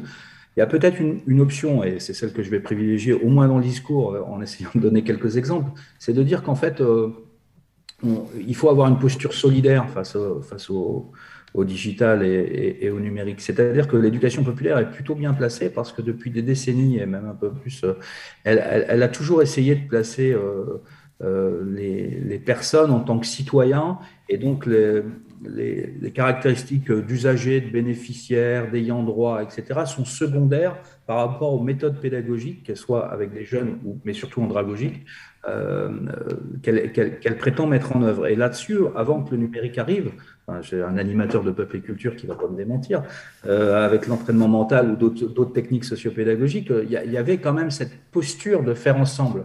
Et, et, cette pratique, c'est pas qu'une posture, c'est une pratique. Donc moi, je, rejoins beaucoup et on, accompagne beaucoup de réseaux à cette pensée, si vous voulez, euh, qui ne serait pas injonctive en disant que la fracture est forcément euh, la reproduction de catégories qui serait déficiente et on devrait être euh, l'appareil de la réparation de la déficience. Ce n'est pas tout à fait comme ça que ça se passe, parce que je crois que les intervenants précédents à travers leurs exemples, euh, on, citait l'exemple des jeunes, c'est-à-dire qu'on des pratiques habiles, mais pour autant, euh, ils sont jeunes. C'est-à-dire que euh, la question de la conceptualisation, de la mise en perspective, la mise en sens a besoin d'être accompagnée. Donc on peut très bien inventer des approches, puisque je, reprends ta question, sur comment articuler bénéficiaires et, professionnels, qui, qui, partent de cette idée-là, c'est-à-dire d'agir ensemble euh, pour découvrir des pratiques et mettre euh, des rôles sur la découverte des pratiques. Alors ça, une vertu qu'on connaît bien dans l'éducation populaire, c'est que plutôt que de partir de la défiance, de la mise à distance, on part de la confiance. C'est-à-dire, tu sais quelque chose, je sais quelque chose, et maintenant, il y a une mise en perspective et on va distribuer les rôles. et là, on, croit vraiment être dans une pratique euh, de l'éducation populaire qui se reproduit, enfin, en tout cas qui évolue, mais qui part des mêmes bases, en, travaillant sur ce, sujet. Je vous donne un exemple parce que j'avais mis mon chronomètre, mais j'ai oublié d'appuyer sur, euh, voyez, fracture numérique. J'ai oublié d'appuyer sur le vert. Euh, en ce moment, moi, j'ai un groupe autour de la RGPD, du RGPD, Règlement général de protection des données. A priori, le truc énervant. Eh bien, bizarrement, euh, je, me, retrouve dans l'animation de ce groupe en région avec euh, des élus vraiment éloignés du numérique. Hein. et en général, ils ont même plutôt freiné nos projets il y a 4-5 ans. Maintenant, ils sont à fond dedans. Parce que le sujet de la protection des données, le sujet de la liberté, le sujet du consentement est un vieux principe de l'éducation populaire qui, les anime. Et donc là, on a, euh, pour répondre un peu de façon pratique, on a un objet, on a une communauté qui est possiblement euh, mobilisable et on a des livrables un peu identifiés. C'est-à-dire produire une, RGPD, association dans une communauté, et puis savoir ce qu'on va mettre en œuvre, va mettre en œuvre selon quelle priorité. Donc, on pourrait dire que, euh, et je vais peut-être euh, finir euh, là-dessus, j'allais dire que mettre l'usager au cœur des processus de délibération, c'est rendu extrêmement difficile dans le cadre du numérique par la, nécessité de la maîtrise technique, de l'environnement conceptuel, parfois même l'environnement politique qui a été euh, euh, repoussant pour certains de nos bénévoles. Quand, quand, quand, quand, on a déclaré à un moment donné on va être la Startup Nation pour des de l'éducation populaire, c'était pas un truc euh, qu'ils avaient envie d'entendre. Vous voyez ce que je veux dire? Donc il y a eu une frat vraiment comment on va traiter cette question-là? Et euh, je, pense que ça, c'est difficile. Euh, c'est une injonction qu'on pose beaucoup dans les processus en ce moment euh, de commande de l'État. On, les pose aussi dans les tiers-lieux, puisqu'on travaille beaucoup dans les tiers-lieux. L'usager au cœur de la gouvernance de son tiers-lieu, c'est vraiment quelque chose de fort. Par contre, une étape pourrait être vraiment mieux travaillée, c'est celle du consentement. C'est-à-dire que à partir du moment où on embarque nos publics dans une pratique pédagogique, une découverte, euh, l'accès au droit, le fait de bien replacer la personne euh, au cœur de, de, l'objectif, est-ce qu'elle est d'accord avec l'objectif qu'on poursuit? Est-ce qu'elle y consent? Est-ce qu'elle est, est-ce qu'on est transparent sur les efforts et les, ce, qui, ce, qui, ce qui va être nécessaire pour gravir cet échelon-là de conscientisation, en fait, hein, puisqu'on est toujours dans les processus d'éducation populaire? Ça, je crois qu'on a à retravailler cette question-là. Et, que parfois, pédagogiser, et alors là, je balaye devant ma porte, hein, euh, de manière très, euh, très scolaire, en fait, hein, des fiches séquences, euh, des choses comme tout étant des allants de soi, des évidences, où, où, la question de, de, de, la transparence, du consentement, pour permettre ensuite quelque chose de plus engagé, enfin engageant, je sais pas, responsabilisant, je sais pas comment l'appeler, mais en tout cas une place différente, disons, dans les projets, a peut-être été euh, sous-estimée ces dernières années. C'est vrai qu'on est allé très vite, on a produit beaucoup de pédagogie, mais cette question vraiment de la montée euh, ensemble a peut-être été euh, sous-estimée, et c'est ce qu'on est en train d'essayer de produire. Une dernière réflexion sur les métiers. Euh, c'est vrai que euh, l'une des conditions, je pense, là, pour répondre à ta question, comment construire un parcours éducatif par le numérique en intégrant bénéficiaires et professionnels, c'est aussi de continuer euh, les stratégies de professionnalisation, parce que on a beaucoup compté ces dernières années sur l'auto-formation. En, en, développant des outils qui n'étaient pas complètement intégrés dans la formation continue parce qu'on ne savait pas comment faire. Quoi. Un animateur, est-ce qu'il devient médiateur? Ou est-ce qu'il intègre sa pratique euh, dans sa pratique le numérique. Un formateur, idem. Hein, une assistante sociale, idem, parce que c'est le même sujet. Le collègue des centres sociaux euh, parlait euh, tout à l'heure, j'en dis très mal, mais c'est cette question de la transition, de diffuser le sujet du numérique pour une montée en compétence Mais la question du métier, où est-ce qu'on place la, la, la, compétence métier comme un, effet levier de nos histoires d'éducation populaire et encore au travail et, et surtout parce que l'État soutient plusieurs filière euh, aujourd'hui en création, qui est la filière de la médiation numérique et la filière des tiers-lieux, pour ne citer qu'elle. Voilà les quelques réflexions que je voulais vous partager en 6 minutes 12. Merci beaucoup. Euh, Emmanuel, je te donne la parole pour une réaction sur le on apprend et on fait ensemble. Euh, oui, bah, faire une réaction peut-être sur le, la, problématique que tu avais proposée générale à tout le monde, qui était le, finalement le rôle éducatif des associations euh, face au numérique. Moi, ce qui me frappe quand on discute de, ça, euh, c'est que finalement, ce, le, le problème que tout le monde a connu, c'est que la rupture numérique, elle est venue bouleverser en même temps les professionnels et les publics. Euh, qui sont situés à, un niveau de leur expérience de vie euh, et de leur euh, rapport à l'éducation en, général et à la citoyenneté en particulier qui est différent. Donc on a une sorte de, y a une, tout le monde a été synchronisé à une même révolution, mais en, le vivant à des, étapes de vie très très différentes. Et il me semble que euh, ça, ça doit nous interroger sur euh, la manière dont on pourrait tirer euh, des conséquences un peu pédagogiques à la fois dans les projets des associations aussi bien que dans les dans les manières de faire, euh, pour essayer de justement de tenir compte de ce que les uns et les autres apprennent ensemble. Moi, ce qui m'a toujours frappé quand on observe, par exemple, euh, et je l'avais dit au, mois de juin, une séquence dans laquelle on a un animateur qui est souvent quelqu'un de quand même relativement jeune, euh, qui est avec un groupe de jeunes, certes plus jeunes que lui, mais quand même euh, pas si éloignés que ça dans, le temps, et qu'ils échangent autour de l'utilisation de la cartographie collaborative, de leur téléphone, de leur processus d'information, etc. on voit bien que dans cet échange, il y a des apprentissages mutuels. Euh, et très souvent, et c'est un peu ce que, ce que tu disais juste avant, euh, le fait qu'on cherche à faire euh, du numérique un peu une thématique sur lequel on forme, avec des réflexes qu'on a acquis peut-être dans les, dans, les modèles précédents, qui étaient de, transmettre ça justement en fiches, en acquis, etc. Le fait qu'on ait du mal à casser ces habitudes-là fait qu'on ne voit moins les moments où les uns et les autres se forment ensemble. Et, ça, je trouve que c'est c'est probablement quelque chose qui est améliorable en fait chez, chez tout le monde. Euh, parce que finalement, ce que ça permet, euh, le numérique, disons, c'est que euh, ça permet de connecter euh, plus, enfin, je rebondis sur ce que tu disais aussi tout à l'heure, sur le fait qu'il y a le sentiment dans les associations que euh, c'est euh, une perte de temps, que c'est moins bien que d'être connecté directement euh, à des individus avec lesquels on travaille, etc. Je pense que quand même, il y a aussi l'expérience qui est que le numérique permet de se connecter plus loin. Par contre, c'est se connecter différemment. Et c'est sur ce différemment qu'on n'a jamais le temps de travailler, en fait. Euh, et, c'est bien ça l'enjeu pédagogique, euh, c'est-à-dire c'est qui les penseurs pédagogiques de la révolution euh, numérique pour les mouvements d'éducation populaire aujourd'hui? C'est difficile de trouver cette réponse en relisant les, penseurs pédagogiques du XXe siècle, qui n'avaient pas été bousculés comme ça par ce rapport à la connaissance, par cette synchronicité des cultures mondiales sur la musique, sur la, vidéo, etc. donc on a une, a, une difficulté à, trouver cette, ressource. Donc du coup, le, truc naturel, c'est que tout le monde expérimente. Quoi.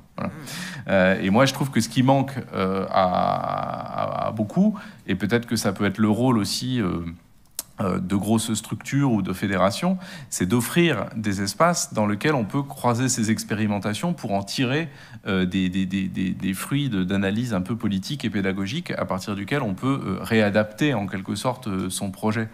Euh, parce que globalement, tout le monde fait l'expérience que quand on, met en place un, processus qui remet de l'horizontalité euh, entre le public, les animateurs, etc., euh, ce qui se produit là, c'est que ça, change un peu la nature du public auquel on, s'adresse. Je prends un dernier exemple. Historiquement, les structures d'éducation populaire en appuient sur les pédagogies actives et des réflexions aussi sur une partie de critique d'un modèle scolaire un peu trop vertical, un peu trop descendant, etc. C'était par exemple, on, ont, expérimenté pendant longtemps des formes de pédagogie euh, active qui impliquent davantage les gens en les mettant euh, en situation de faire, euh, mais ont compris assez vite que pour qu'on arrive à y inclure le maximum de gens et le maximum de, personnes, à la fois socialement, territorialement et, y compris, ça pourrait s'appliquer aux adultes, il fallait qu'on essaie de constituer un peu les groupes pédagogiques avec, lesquels on travaille et qu'on travaille les, cadres qu'on propose aux gens pour faire cette expérience de la découverte en pratique. Et donc, on a pensé des pédagogies là-dessus. On a pensé des groupes, euh, la sociabilité entre pairs, euh, voilà, euh, les, les 8-12, les, on a eu des débats interminables sur les, les catégories d'âge qu'il faut regrouper pour arriver à faire des pédagogies pertinentes, etc. Voilà, ça a alimenté tout le 20e, quoi, je dirais. Bah, Aujourd'hui, au 21e siècle, la question moi je me pose, c'est comment est-ce qu'il faut euh, tenir compte de ce qui, de ce qui arrive euh, euh, aujourd'hui pour retravailler les, les, pédagogies avec de, des, des, des, publics qu'on peut plus exclusivement considérer comme constitués par la pédagogie elle-même. En quelque sorte, on est passé d'un moment où on, constituait les publics pour leur proposer une proposition pédagogique à vocation émancipatrice et de formation du citoyen, et aujourd'hui, en grande partie sur le numérique, il y a plein de structures associatives euh, dont le public est constitué par les pratiques pédagogiques des gens qui sont la plupart du temps les mêmes que celles des animateurs. Alors c'est difficile pour eux de trouver là-dedans une forme originelle et originale euh, d'animation des, choses. Et donc, on, cherche toujours des outils, des, expérimentations. Et dedans, il y a plein de trucs intéressants. Mais voilà, à mon avis, c'est un chantier qui est encore long. Quoi. Merci beaucoup. Euh, après cette, euh, la fin de cette deuxième partie et avant d'arriver à la troisième, on va prendre un temps de, questions, donc à la fois des questions de la salle, mais aussi peut-être des questions des personnes qui nous suivent en ligne. Peut-être.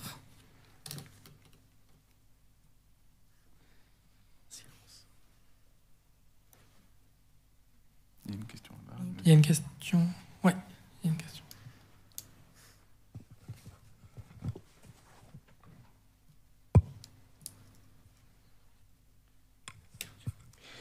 Oui, bonjour, euh, Alain Casier de la Fédération de Paris des centres sociaux.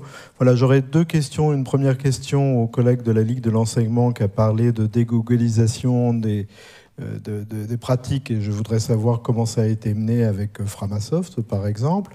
Et puis la deuxième concernant l'exposition mise en place, développée par la, les, MJC savoir si cette exposition est disponible pour d'autres structures, est-ce qu'elle est euh, utilisable par ailleurs, comment est-ce qu'elle est en partie euh, dématérialisable sans transport physique, comment ça se passe, voilà. Je vous remercie. Merci. Hum, Mathieu, tu veux commencer? Oui, si tu veux. Euh, je pense avoir entendu une question autour de la mise en place du partenariat avec Framasoft. C'est ça, oui. Comment la dégooglisation se passe à la Ligue? Il y a encore du boulot. Hein. Tu as vu mon adresse J'ai encore une adresse Gmail. Euh, euh, non, le, en fait, c'est pas vraiment un partenariat. C'est qu'on a saisi la. Enfin, si, c'est un partenariat, mais on a saisi la, proposition de Framasoft. Parce que vous savez que Framasoft a toujours dit euh, nous, on, contribue à des modèles, mais notre souhait, c'est pas de grossir, c'est pas d'arriver à 50 salariés, c'est plutôt d'offrir euh, quelque chose qui s'appelle les chatons. C'est un dispositif qui permet euh, à des communautés locales de se saisir en fait du savoir-faire collectif et puis d'y contribuer. Et on a eu une opportunité, je baisse mon son parce que je m'entends chanter comme Freddie Mercury. on a eu une opportunité grâce à l'initiative de la fédération de Mayenne de récupérer des serveurs avec des bénévoles qui étaient prêts à, s'en occuper, alors des bénévoles de hein, euh, et, de dire, bah voilà, pour euh, la, localisation de la donnée, euh, on, va déjà héberger des, serveurs à ce niveau-là, et derrière, on va créer une suite, ce qu'on appelle une suite logicielle, c'est-à-dire un chat, vidéo, du cloud pour les gens, j'oublie quelques fonctionnalités, mais on peut avoir sur Gmail, euh, euh, qui, va être disponible à la fois pour les fédérations, mais aussi les associations qui voudront euh, adhérer à ce système. Alors, ça, c'est quoi les conditions de cette, adhésion? Bah, Il y a un prix. C'est-à-dire que la grande force de, Google et compagnie, c'est de, nous faire croire que tout est gratuit. Euh, mais derrière, vous avez 15 gigas et puis vous stockez vos, photos de vacances. Euh, nous, on, a un modèle très très peu cher, mais qui, a le prix réel du, giga, euh, un, un, euro du giga ou quelque chose comme ça, ou un peu moins, mais enfin, c'est pour vous donner des, des ordres de grandeur. Donc euh, derrière, en fait, on essaie de cultiver euh, des systèmes qui à, la fois sont solidaires, qui produisent aussi, parce que derrière, il y a des développeurs, il y a de l'amélioration de suite. Enfin, c'est vraiment le projet de Framasoft et d'autres euh, développeurs du libre. Mais en même temps, qui soit un vrai service aux associations et qui nous permet d'être un peu clean dans les idées qu'on défend. C'est-à-dire, on dégooglise, on est contre les GAFAM, mais derrière, à part moi, qui vais chercher mon adresse Gmail, on, des alternatives qui soient vraiment efficaces. Hein, puisque on, on, ce n'était pas le sens de la question, mais je finis d'y répondre quand même. Ça veut dire que derrière, il ne faut pas qu'on bricole. C'est-à-dire que quand on veut dégoogliser, il y a une pratique de la société qui est la facilité, la rapidité, la sécurité, tout ce que vous voulez. Et il faut qu'on soit à la hauteur de cette chose-là, ou quasiment à la hauteur, ou si on ne l'est pas, ben, on explique pourquoi on ne l'est pas, et le chemin qu'on a à parcourir. Mais ça veut dire qu'il faut aussi qu'on progresse dans les, dans les fédérations, puisque c'est souvent les fédérations, c'est pas les associations euh, locales qui, peuvent, qui sont en capacité de faire des choses comme ça, on les fait avec elles, mais il faut quand même une, une assise.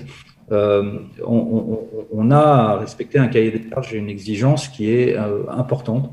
Et, ça, on, est vraiment prêt à le partager avec d'autres euh, d'autres expériences. Je crois que les CMA aussi ont une expérience comme ça. Peut-être que les centres sociaux, je, vous avoue qu'effectivement, ça renvoie à la question d'Emmanuel Porte tout à l'heure. C'était peut-être d'engager plus de discussions entre nous sur ce sujet-là pour partager les bonnes expériences autour de ça.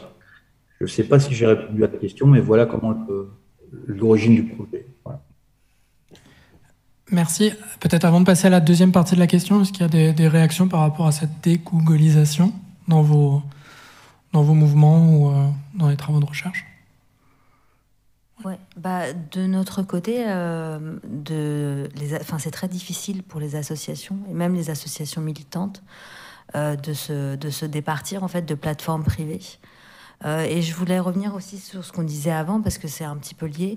C'est qu'il y a quand même une, euh, y a une grande méconnaissance aussi du fonctionnement exact de ces de ces plateformes.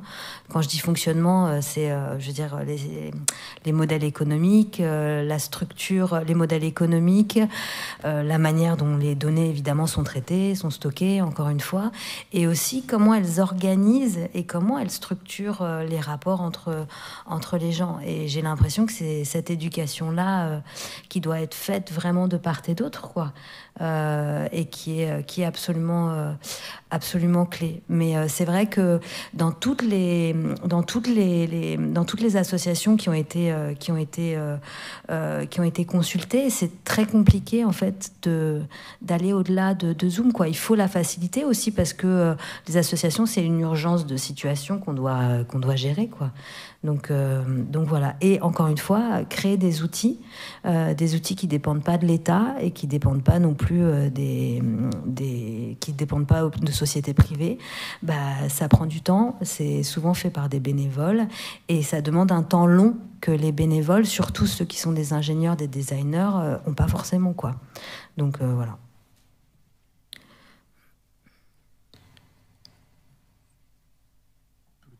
Merci beaucoup. On peut passer donc à la deuxième partie de la question euh, par rapport à l'exposition. Est-ce qu'elle est dématérialisée et accessible? Alors aujourd'hui, l'exposition est très très matérialisée. Euh, elle prend la forme d'une malle de transport qui tient dans une Clio, vraiment, hein, testée, euh, et approuvée pour vous. je ne pourrais pas vous en dire beaucoup plus. C'est Île-de-France, hein, votre région, c'est ça?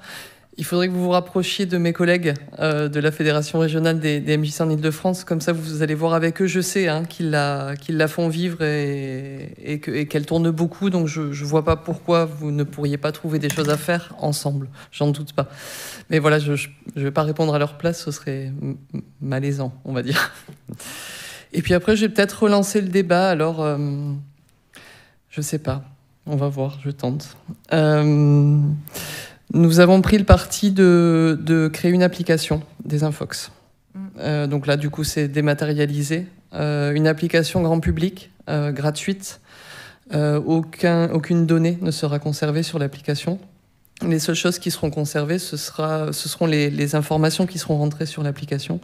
le propos de l'appli sera, ben voilà, je suis, on est entre nous, on a un échange, et puis je veux vérifier quelque chose. Ok, je rentre sur l'appli je tape la phrase que je veux vérifier et l'application va me proposer de faire un parcours qui est un parcours identique pédagogiquement à ce qui est proposé dans des Infox, l'outil matériel qui existe aujourd'hui. Donc un parcours de, recherche, j'allais dire finalement un travail d'enquêteur qui va pouvoir me permettre de savoir euh, à l'issue du parcours si l'information que j'ai rentrée euh, est plutôt fiable ou pas. Entendez bien fiable, hein j'ai pas dit vrai, j'ai dit fiable.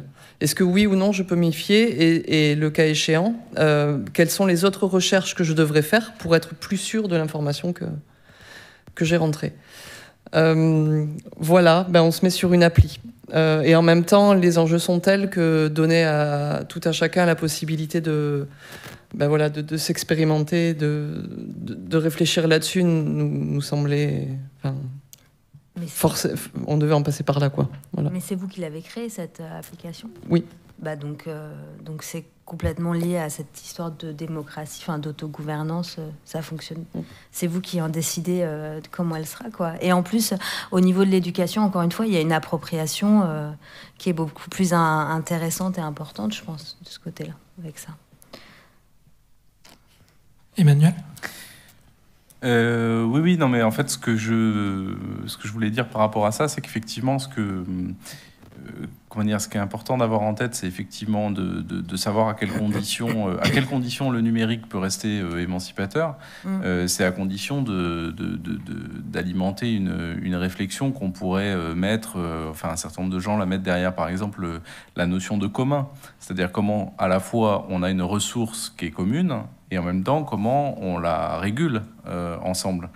Euh, puisque même un logiciel libre euh, qui n'est pas géré par la communauté de ses usagers, ça devient un logiciel comme un autre. C'est pas le logiciel en tant que tel ni sa licence qui fait un.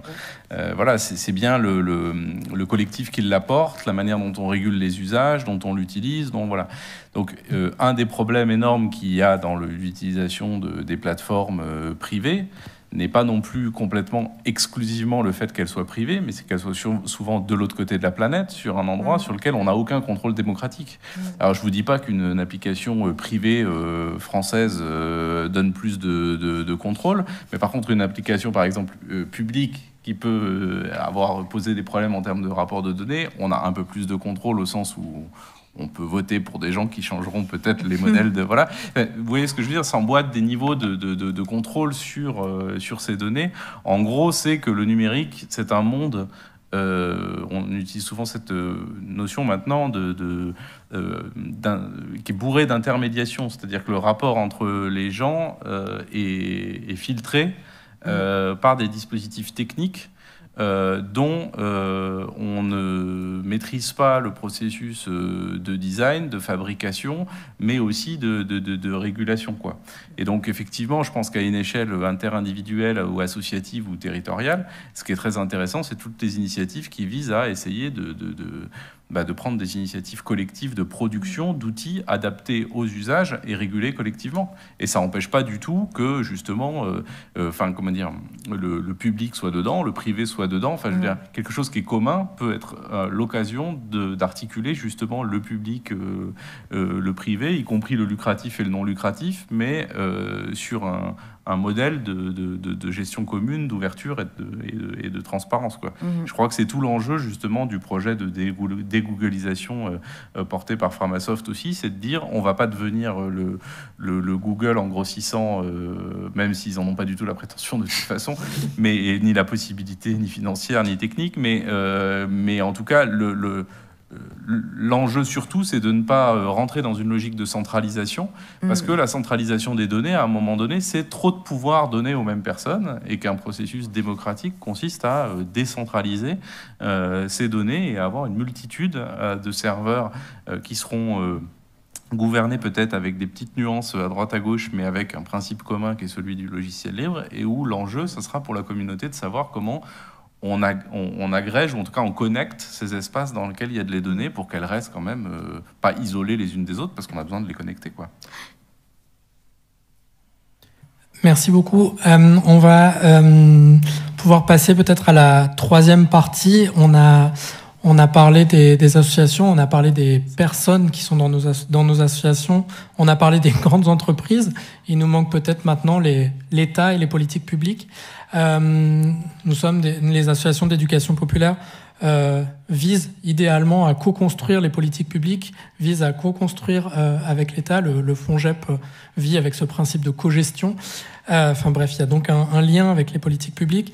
La question est, en termes d'enjeux numériques, l'articulation euh, entre ces enjeux, les enjeux du numérique et les réponses des politiques publiques, et de savoir finalement un peu quelles politiques publiques ont soutenu euh, à la fois l'accompagnement, la lutte contre les fractures, mais peut-être aussi dans les exemples dont vous avez parlé tout à l'heure, quel est le lien, quel lien vous voyez euh, ou vous faites entre le pouvoir des, politiques publiques et l'enjeu du numérique. Et alors là, c'est qui veut? Bah Moi, je peux y aller, ça va être court comme la dernière fois. Surtout parce que ces associations avec lesquelles on travaille, souvent, elles sont en marge quand même euh, de l'État, donc elles reçoivent des aides, mais elles fonctionnent quand même très en marge. Donc euh, avec Jessica, on se creusait la tête un peu euh, pour essayer de comprendre le rôle de ces politiques publiques. Et là, vraiment, je, me place à un niveau micro hein, du fonctionnement, encore une fois, de ces associations, et pas forcément, pas forcément plus large. Mais dans le cas de, bah, je crois que c'est de la COP 21, des assemblées de citoyens, là pour le coup, il y a eu un financement qui a été donné pour réduire euh, la fracture numérique pour que les gens puissent participer, euh, puissent participer euh, ensemble et puissent aller en, ligne et pouvoir comprendre, voilà, et pouvoir et pouvoir se, parler. aux États-Unis, alors aux États-Unis, financement de l'État, comment vous dire, c'est plus compliqué, mais mais il y a des, y a, y, y a pareil pour mettre ensemble surtout des populations encore une fois hyper précaires et de cultures différentes, de langues différentes il y a euh, des petits financements euh, qui peuvent être trouvés pour pouvoir, euh, pour pouvoir avoir un peu d'éducation à ce niveau-là. Et alors c'est au niveau européen que c'est intéressant parce que il y a des projets de souveraineté digitale justement pour essayer de, créer des plateformes pour contrer Facebook, Google. mais voilà, c'est au niveau européen. Alors moi, je suis vraiment très pressée d'entendre ce que mes collègues peuvent dire justement de, ces politiques numériques, surtout dans, le contexte politique, euh, euh, politique, euh, politique actuel. Quoi.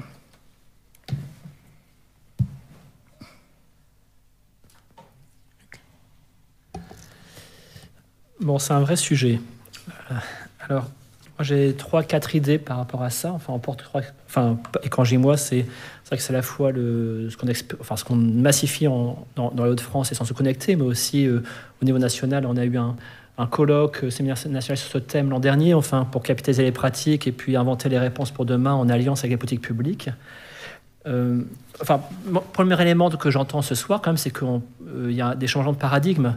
On passe du numérique, on est dans la question des risques et la prévention des risques, un numérique comme richesse, comme ressource, comme levier un numérique qui réactualise la manière de faire l'éducation populaire aujourd'hui. Mm. Donc c'est c'est pas rien quand même. Donc c'est déjà porter cette approche-là euh, dans les politiques publiques et dans nos réseaux.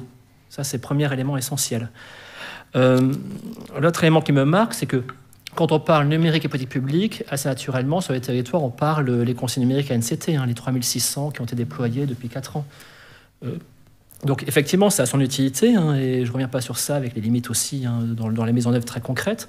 Mais on voit que si on parle éduc-pop, numérique, transition, etc., etc., on a besoin d'encastrer ça avec une démarche plus systémique euh, sur les territoires qui accompagne l'inclusion, la transition, l'innovation numérique avec les personnes concernées, avec les gens.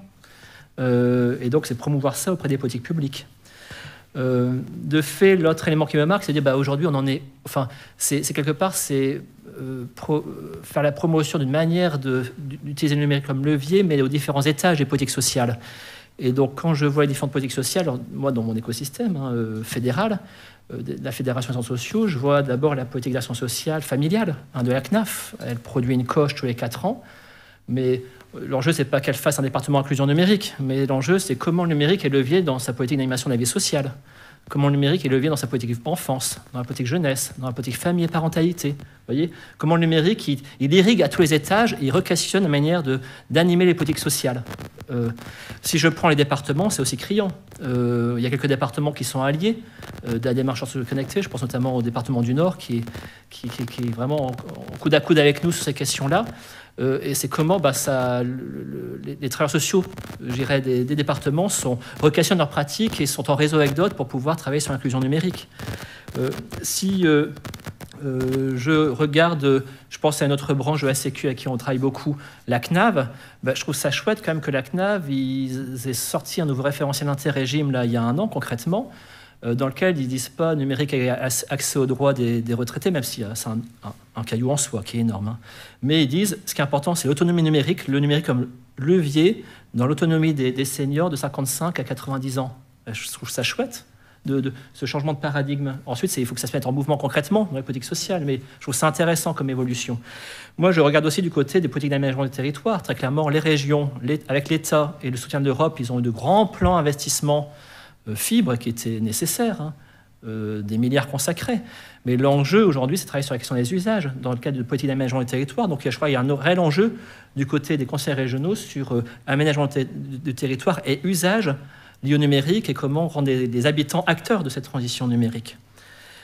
et puis, quand on travaille dans les territoires, il y a aussi des cailloux qui sont aujourd'hui, comment dire, dont on a, enfin, des cailloux un peu brûlants, comme il y a quand même la, toute la question d'accès aux droits et de l'abandon des services publics en territoire.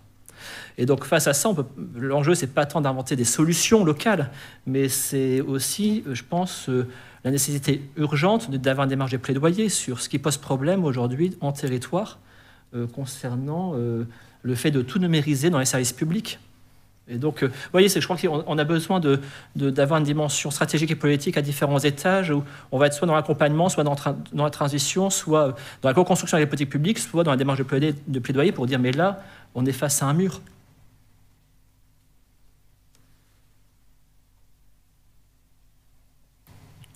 Mathieu? Oui. Euh, J'essaie de de, voir mon entrée parce que en fait euh, la question de l'éducation populaire euh, peut pas pour moi peut pas se lire complètement euh, en dehors de ce qui vient d'être massivement fait par la politique de l'État puisque avant 2017 on était quand même bon en mal dans la tradition de, décentralisation c'est-à-dire que on aurait pu penser que la question du numérique aurait emmené l'ensemble des collectivités avec l'État euh, guidant euh, un petit peu tout ça et puis euh, les collectivités prenant en charge un certain nombre de choses. Et force est de constater que je crois qu'il y a été un choix très différent avec une intervention de l'État avec des appareillages, en général avec l'ANCT, l'Agence nationale de cohésion des territoires, et puis la Banque des territoires, la, Caisse des dépôts qui est devenue Banque des territoires, et donc une montée en puissance euh, très importante sur les politiques d'inclusion avec les outils intéressant et en même temps, je, partage un peu l'analyse précédente, des PIA, des PIC, c'est-à-dire qu'on sortait un peu du saupoudrage pour aller vers des projets dits structurants. alors forcément, plusieurs choses, je, l'analyse comme ça, je vous le livre un petit peu dans le, réseau de la Ligue.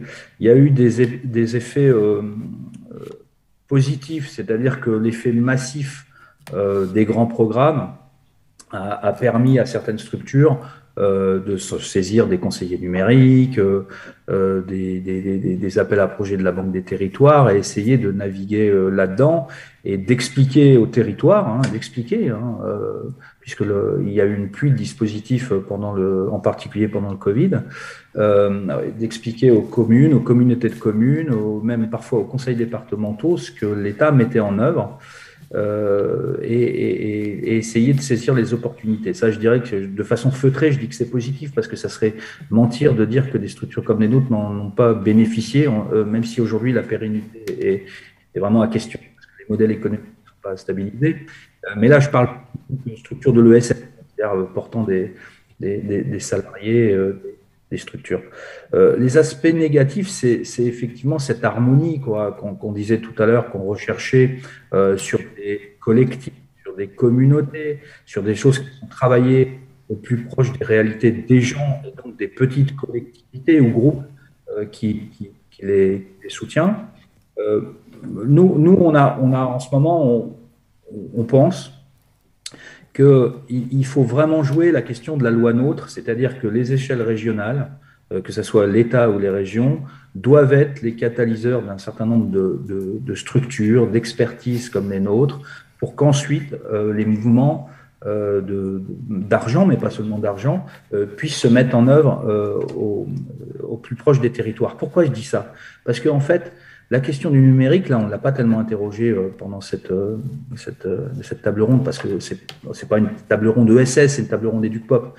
Mais elle nous a profondément heurté dans la question des moyens techniques pour l'accompagner. Ça veut dire quoi aujourd'hui pour une association de, de, faire tout ce qu'on vient de dire, c'est-à-dire d'avoir un serveur de proximité, d'avoir des gens pour la gérer, de, de être, d'être protégé sur la question de la sécurité, puisque ça va être la grande question du moment, d'utiliser des technologies d'éducation média. Euh, enfin, je veux dire, euh, les associations, les petites associations, puisque c'est ça dont on parle particulièrement, sont pas taillées pour avoir 10 000, 15 000, 20 000 euros par an pour honorer toutes les promesses qu'on vient de définir sur une éducation populaire honorable. Donc, le fait d'organiser ces moyens-là au niveau c'est un, parti pris hein, au niveau régional, par exemple, pour, pour les capter, les concentrer, euh, capter des fonds européens qui sont inutilisés pour permettre justement aux collectifs et aux communautés d'agir dans des stratégies d'éducation populaire et, d'orienter ces moyens-là. Nous, c'est une préoccupation majeure de, la Ligue à ce jour. Je ne vous dis pas qu'on réussit parfaitement. Évidemment, je vous parle de ma casquette régionale, région centre, où les choses sont assez... Euh, assez bien foutu parce qu'on est, on est resté la même région euh, lors de la réforme des régions. On a, on a une région qui a une stratégie euh, régionale du numérique. On est en train de contribuer à son renouvellement. On a été labellisé hub numérique euh, par la Banque des Territoires et on a fait une alliance avec le mouvement associatif, l'information jeunesse, un groupement d'intérêt public. Donc les choses sont encore maîtrisables. Vous voyez, on n'est pas encore en, Occitanie, en Nouvelle-Aquitaine ou sur des méga régions. Beaucoup plus compliquées. Mais il me semble que cette question politique euh, doit effectivement euh, permettre à nos structures de se consolider en région, d'offrir des vraies réponses euh, et de solidifier ce que l'interlocuteur précédent, oublié son prénom, excusez-moi, de, poursuivre les, les travaux qu'on a fait avec les CAF, avec la CNAF, c'est-à-dire avec des solides, avec des conseils départementaux qui ont pris plein fouet la question sociale, mais qui s'organisent aujourd'hui pour avoir des stratégies autour du numérique et qu'il n'y a, a, aucune raison d'oublier le passé pour pas niveler un petit peu et réorganiser euh, notre, matière, notre manière d'intervenir au plus proche des, associations en, mettant euh, nos questions à la bonne échelle. Dans un État centralisateur, c'est pas évident. Hein, c'est évident. Il faut aller chercher euh, les, les, les, grandes stratégies qui s'écrivent aujourd'hui. Des fois, ça s'appelle la SCORAN, c'est des stratégies de cohérence et d'organisation numérique en c'est des feuilles de route. Ça s'appelle du CPER, des contrats de plan État-région, dans lesquels il y, a, il y, a, des financements sur plusieurs années et surtout des feuilles de route écrites euh, ensemble.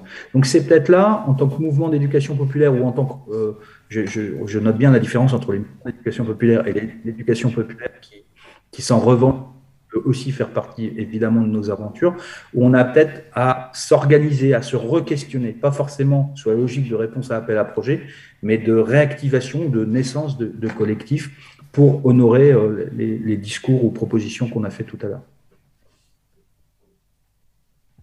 Merci. Maïka, tu, veux... tu parlais tout à l'heure aussi de, voilà, de la, la, place de jeunesse et sport dans votre groupe de travail, par exemple. Peut-être qu'il y a des liens c'est intéressant la, co-construction. Euh, je, laisserai ça à votre analyse, mais euh, il s'est passé quelque chose en tout cas avec, euh, avec des infox. Dans sa phase de, de, conception, on a le ministère de la Culture qui, qui dit écoutez, vous faites des choses intéressantes, poursuivez, allez-y, imaginez-moi quelque chose. Ok, donc on a national qui dit. Dans la phase de conception, toujours, on a le Jeunesse et Sport qui dit ça m'intéresse, on va soutenir ça. Entendez soutenir aussi financièrement. Et puis on a euh, une CAF départementale qui est aussi très intéressée par le projet et, qui en soutient. Alors là, euh, vraiment, euh, waouh, on est ensemble en fait. Bon, l'outil est conçu. L'outil vit aujourd'hui. Hein.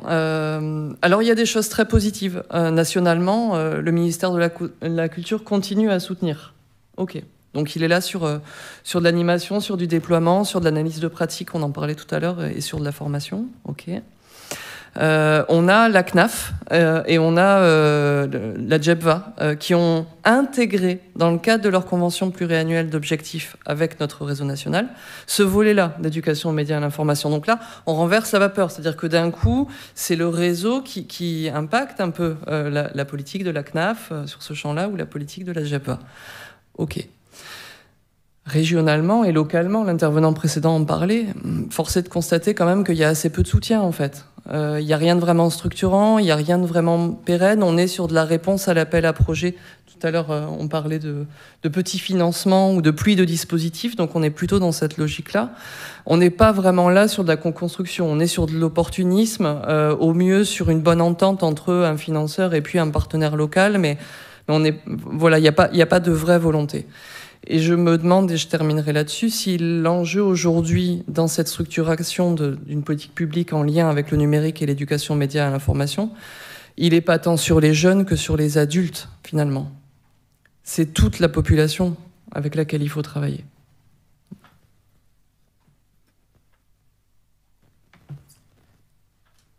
Merci. Est-ce que, Emmanuel, tu souhaites réagir? Euh, non, mais j'ai pas forcément fait un, bilan de tout ce qui a été euh, fait financer par euh, les différents niveaux de, politique publique, parce que là on a parlé de choses très différentes, du FEDER au financement départemental. Euh, mais en tout cas, euh, ce qui est sûr, c'est qu'on est dans avec le numérique, comme on l'est de manière générale avec la vie associative, euh, je, trouve. C'est-à-dire qu'on est, on est dans une forme de d'émiettement des priorités par rapport aux, niveaux, aux différents niveaux territoriaux. Et ça va qu'en se renforçant avec les processus de décentralisation, même s'ils ont d'autres caractéristiques positives par ailleurs. Mais, mais il est très clair qu'aujourd'hui, euh, on va dire qu'il y a différents types de missions, euh, enfin différents types d'attitudes que peuvent avoir les politiques publiques, qui sont soit des, aides effectivement à la, à la structuration des infrastructures qui permettent euh, à du numérique de se déployer, qui était une grosse partie hein, du, financement des, origines et encore actuelle. Il y a des choses qui relèvent plutôt, on va dire, de la, mise en réseau d'acteurs. Donc là, c'est soutenir des initiatives ou des émergences, etc. Et puis il y a, une autre partie qui est de, de se préoccuper de l'accompagnement euh, euh, des, acteurs vers une forme de transition numérique. Et là, force est de constater que, globalement, il y, a, des difficultés à s'emparer de cette, cette question-là. Avec une collègue, on a travaillé, il y a, donc pas spécifiquement, exclusivement sur l'éducation populaire, mais sur la vie associative en, général, sur l'accompagnement à la vie associative, l'accompagnement à la structuration et à l'émergence de projets associatifs dans les, territoires. Aujourd'hui, si vous voulez un accompagnement juridique, une formation de, vos bénévoles, si vous voulez un certain nombre de choses, vous avez des entités euh, qui existent sur les territoires euh, pour faire ça, que ce soit des, maisons des associations, euh, des, des, des, des CRIB, des, tout un tas de structures que vous connaissez également tous. mais sur le numérique, on est beaucoup plus vite coincé en fait. et très souvent, en fait, c'est des dynamiques qui sont accompagnées par des acteurs qui sont ni des acteurs associatifs ni des acteurs publics et qui sont euh, des acteurs privés qui finalement occupent euh, une, place aussi sur ces enjeux d'accompagnement. Euh, je pense par exemple à une structure comme, comme Hello Asso, qui aujourd'hui est une structure qui, carrément produit de l'accompagnement aux associations, alors qu'au départ c'était une, boîte qui développait des services. voilà. Donc ils ont, et ils ont développé ces, ces fonctions d'accompagnement parce que parce que ce besoin n'était pas, était pas couvert par l'offre existante. Donc il y, a beaucoup à faire dans ce, dans ce domaine-là. Mais ce que je voudrais prendre comme exemple, un peu pour décaler le regard sur les transitions, c'est euh, ce qui se passe par exemple dans le champ euh, des transitions euh, écologiques. vous avez des, entités importantes comme, comme l'ADEME par exemple qui sont en charge d'accompagner ces transitions et de se poser la question de comment les financer et qui développent comme alternative à l'émiettement ou comment dire l'appel à projet thématique qui ont développé un modèle qui s'appelle des appels à commun. Euh, qui, est un modèle qui n'est pas inintéressant parce que c'est une invitation à des acteurs très divers sur un territoire ou sur un, domaine donné à, se regrouper autour d'un projet euh, concret de, production d'une alternative euh, technique. Alors on pourrait imaginer hein, une infrastructure justement une infrastructure de données commune à des acteurs associatifs ou à des acteurs de, l'éducation populaire qui se mettraient ensemble avec entre eux, mais aussi avec des acteurs privés capables de le développer sur une modalité de gouvernance commun. bref, l'appel à commun comme une alternative à l'appel à projet, c'est peut-être une manière d'envisager comment des, acteurs aussi divers que tous ceux qu'on a évoqués peuvent être amenés à, collaborer. En tout cas, c'est une piste parmi d'autres que j'ai vu passer ces, derniers temps. Merci beaucoup. Euh, on va peut-être pouvoir passer à un deuxième temps de questions, s'il y a questions euh, dans la salle ou en ligne. Il y a une question de...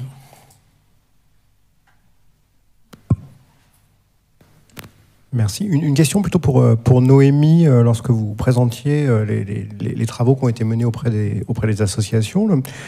moi, j'aurais, je sais pas, comme ça, intuitivement, tendance à croire que l'appropriation numérique n'est pas la même pour des associations très militantes Mhm. et les associations plus éducatives, ou euh, je sais pas, je, alors c'est sans doute une, fausse idée de ma part, mais je disais, euh, j'imaginais que les associations très militantes, vous parliez notamment au niveau de l'environnement, auraient peut-être plus euh, utilisé, développé des outils dans des stratégies de plaidoyer, finalement seraient peut-être moins rétives au, numérique. Et si j'ai bien compris ce que vous avez dit tout à l'heure, c'est pas, c'est pas le cas en l'occurrence?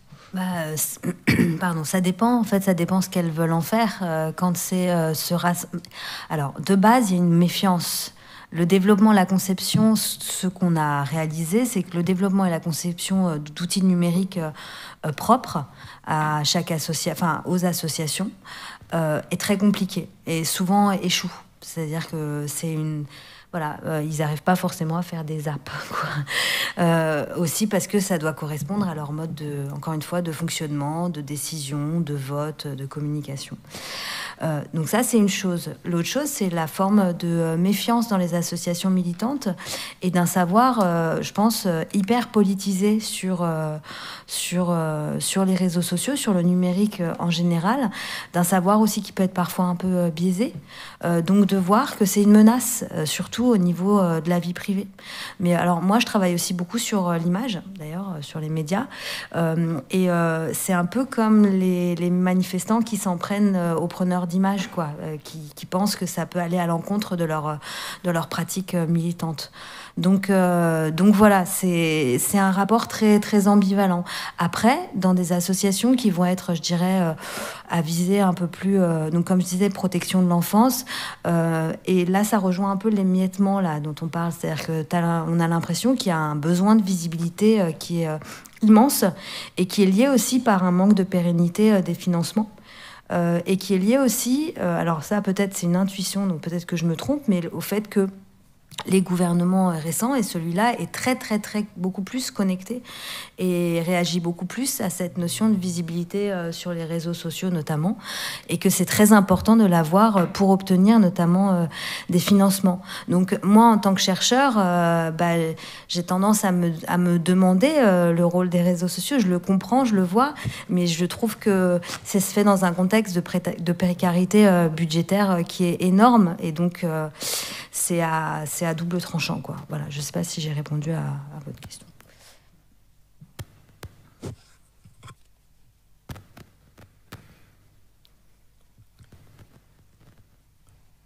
Merci. J'ai oublié de. Je vous juste parce qu'en fait, euh, je me suis rappelé de quelque chose dont je voulais parler, c'est que ça aide quand même. Euh, vous avez parlé de, des modes de communication, d'agrandir. Il y a pas mal de militants. La seule chose qu'ils trouvaient bien au moment du confinement, c'était justement de pouvoir euh, dépasser les frontières et de se rassembler, quoi. Mais à chaque fois, ça remplaçait quand même pas le fait de pouvoir être ensemble en vrai, quoi. Voilà. Maxime? Oui, pardon, j'ai vu, oui. Il y a encore une question dans la salle et après je ah te passe la parole pour le numérique du commun. Une question euh, d'ordre un peu général. J'ai l'impression qu'on euh, subit un peu le numérique ce soir, et, euh, en tout cas dans l'éducation populaire. Et en même temps, on, voit qu'il y a quand même beaucoup de choses dans le numérique qui sont de l'éducation populaire, c'est-à-dire le partage des connaissances, enfin, au moins dans le, dans le net, en tout cas dans la neutralité du net, de la liberté, du partage de connaissances, de la, possibilité d'intervenir, de, de, donner son avis. Enfin voilà, c'est un levier énorme. Et euh, comment ça se fait que l'éducation populaire n'arrive pas à faire de l'e-duc-pop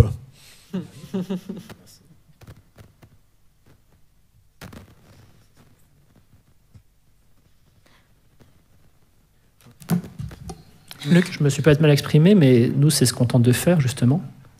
C'est alors, on expérimente depuis 2017-18, mais euh, à travers Sciences Connectées, on sait vraiment de faire du. comment le, numérique réactualise nos pratiques d'éduc-pop.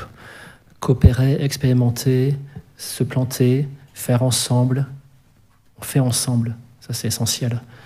Euh, on revisite les communs, ce qui est commun, et on dépasse nos frontières. Enfin, on décloisonne voilà. C'est alors ensuite c'est un chemin quoi. C'est avec des voilà, il y a des choses qui marchent, d'autres qui marchent pas, mais je crois que c'est un, un, beau chemin. De, voilà.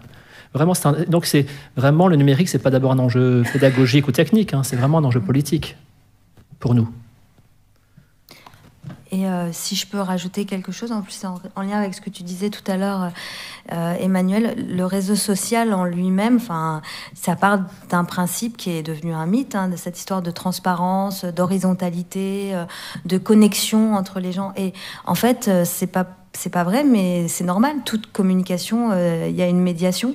Et je pense que c'est euh, ce qui manque dans l'IDUC Pop, peut-être, c'est le fait qu'on soit formé à penser ces outils de communication comme des outils euh, qui nous mettent ensemble, qui, qui, qui nous heurtent, enfin, comment dire, qui nous, qui nous limitent aussi, et comment savoir, enfin, comment les maîtriser pour, pour après créer notre, nos modes de, de communication et nos modes d'action ensemble. Mais c'est ce savoir-là, en fait, ce mythe, j'ai l'impression, euh, un peu évaporé du, du, réseau social comme, euh, comme rapport direct entre les gens, qui fait qu'on oublie que, euh, bah, que c'est une structure, quoi, avec, avec plein de fonctions différentes et plein de médiations différentes. Quoi.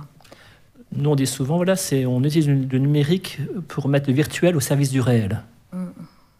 Voilà. là, c'est chouette. Et donc, effectivement, il faut des, des enfin, je sais pas si c'est pas le terme de, médiateurs, mais des animateurs, des gens qui font lien mm. pour euh, voilà, aider à ce que le, le, virtuel soit au service du réel sur les territoires et que ça émancipe les gens à les territoires. Mathieu, tu, tu voulais réagir? Oui, je voulais dire un mot parce que j'ai entendu la question des communs. Je, reviens d'un événement qui s'appelle Numérique en commun, qui un, événement annuel qui réunit, cette année c'était 1700 personnes à Bollard, à Lens. Et je, voulais vous, parler un petit peu de ça parce que force est de constater quand même que euh, beaucoup de gens se réclament de l'éducation populaire et que l'éducation populaire a beaucoup, euh, continue de produire beaucoup euh, des, méthodes que l'on retrouve cabinets privés, des cabinets au service de l'action publique, des, des, groupes qui soient SS ou pas, qui se mobilisent pour la question de la participation de la démocratie citoyenne. la question technique, moi j'insiste beaucoup là-dessus, c'est-à-dire que on, a quand même, comment dire, euh, on est passé un petit peu à côté euh, de, la création, si vous voulez, de code, euh, d'appli, choses comme ça. En tout cas, a été une part d'utilisateurs, c'est-à-dire que les associations ont utilisé pas mal de choses parce que ça, nécessite des, prises de risques, des moyens de développement qui ont été plutôt générés dans le secteur privé marchand. Et, euh, Framasoft euh, et, quelques autres sont quand même des ovnis dans le paysage de la création euh, de des applications. Donc, moi, moi j'incite beaucoup mes collègues, mes propres collègues, à, à investir ces moments-là. Parce que si on veut mieux comprendre de quoi on parle sur le champ du numérique, il faut aller dans les lieux où action publique, action privée marchande et action privée non marchande se, voient. On, on, voit les évolutions, on voit, on voit mieux les conflits on voit mieux les conflits, euh, c'est-à-dire euh, ceux qu'on, euh, parce que là on a cité que Google comme l'ennemi juré un peu de loin, mais ça peut se préciser un peu plus quand, on quand, on peut se retrouver soit en conflit, en partenariat avec le secteur privé marchand sur un territoire pour faire avancer nos questions d'éducation populaire. Donc je, pense qu'il faut il faut pas se la jouer à côté de ce mouvement des communs c'était déjà la cinquième édition. Hein, la première était à Nantes, là c'est à Lens. Et après, il y a des numériques en commun locaux dans lesquels les mouvements d'éducation populaire ou, ceux qui comment dire, qui s'inspirent d'éducation populaire, en tout cas qui en attestent, ne sont pas toujours euh, participants ou, non, ou c'est pas dans les bons radars. Et, peut-être qu'on fait une sous-information sur, cette dynamique, euh, et parfois même euh, les, dire, les, militants du libre euh, nous en ont un petit peu plu de ne pas les avoir accompagnés dès le début. Euh, vous voyez, ils, se sont sentis un peu seuls.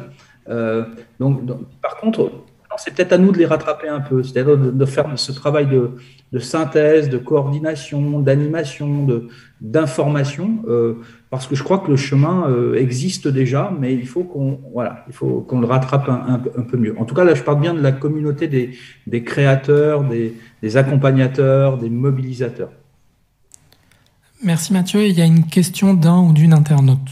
Voilà, il y a une question d'une internaute. Alors, amalgamer sous l'étiquette éducation numérique, d'une part le choix des outils de com, leur apprentissage, l'informatique, savoir remplir un formulaire en ligne, et d'autre part l'éducation aux, aux médias d'information, ne représente-t-il pas un risque de confusion pour les usagers et les professionnels du secteur socio-éducatif?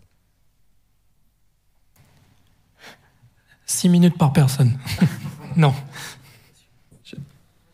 Je, me demande, l'amalgame, c'est peut-être nos, prises de parole respectives, et c'est vrai qu'on intervenait là ce soir avec euh, des entrées euh, complémentaires sur cette question du numérique. Je n'ai pas l'impression qu'on ait amalgamé les choses, on, a répondu aux questions, euh, chacun avec notre spécificité et, notre entrée. En tout cas, voilà, j'espère ne pas, enfin, que nous n'avons pas créé de troubles, à la fois dans la salle et à la fois sur, sur le web. J'ai l'impression qu'il faudrait encore euh, longtemps parce qu'il y a politique publique, euh, euh, politique, enfin politique publique, financement public, financement privé. il y a l'éducation populaire. De mon côté, c'est les usages de communication de la part des, associations. C'est vrai qu'on avait chacun des, entrées, des entrées très différentes qu'il faudrait, qu'il faudrait continuer à se parler, quoi. Mais parce que, le numérique, on revient toujours au même, euh, sujet, c'est que ce n'est pas un outil technique en plus, c'est une transition fulgurante qui, est anthropologique d'abord, et donc qui requestionne l'ensemble des domaines de la vie sociale. Et donc on ne veut pas la prendre par un petit bout si on veut la prendre au sérieux. quoi. Et, donc, c'est à la fois travailler parfois sur de la com interne, de la com externe, des outils, de la technique, travailler sur de, de, de, de l'EMI, d'éducation média à l'information, enfin, de manière assez massive. Enfin, c'est voilà, c'est, euh, c'est si on le prend au sérieux, il faut, euh, faut, que le numérique, il faut le, prendre de manière très transversale pour que ce soit un levier euh, de développement des personnes et des groupes et des territoires.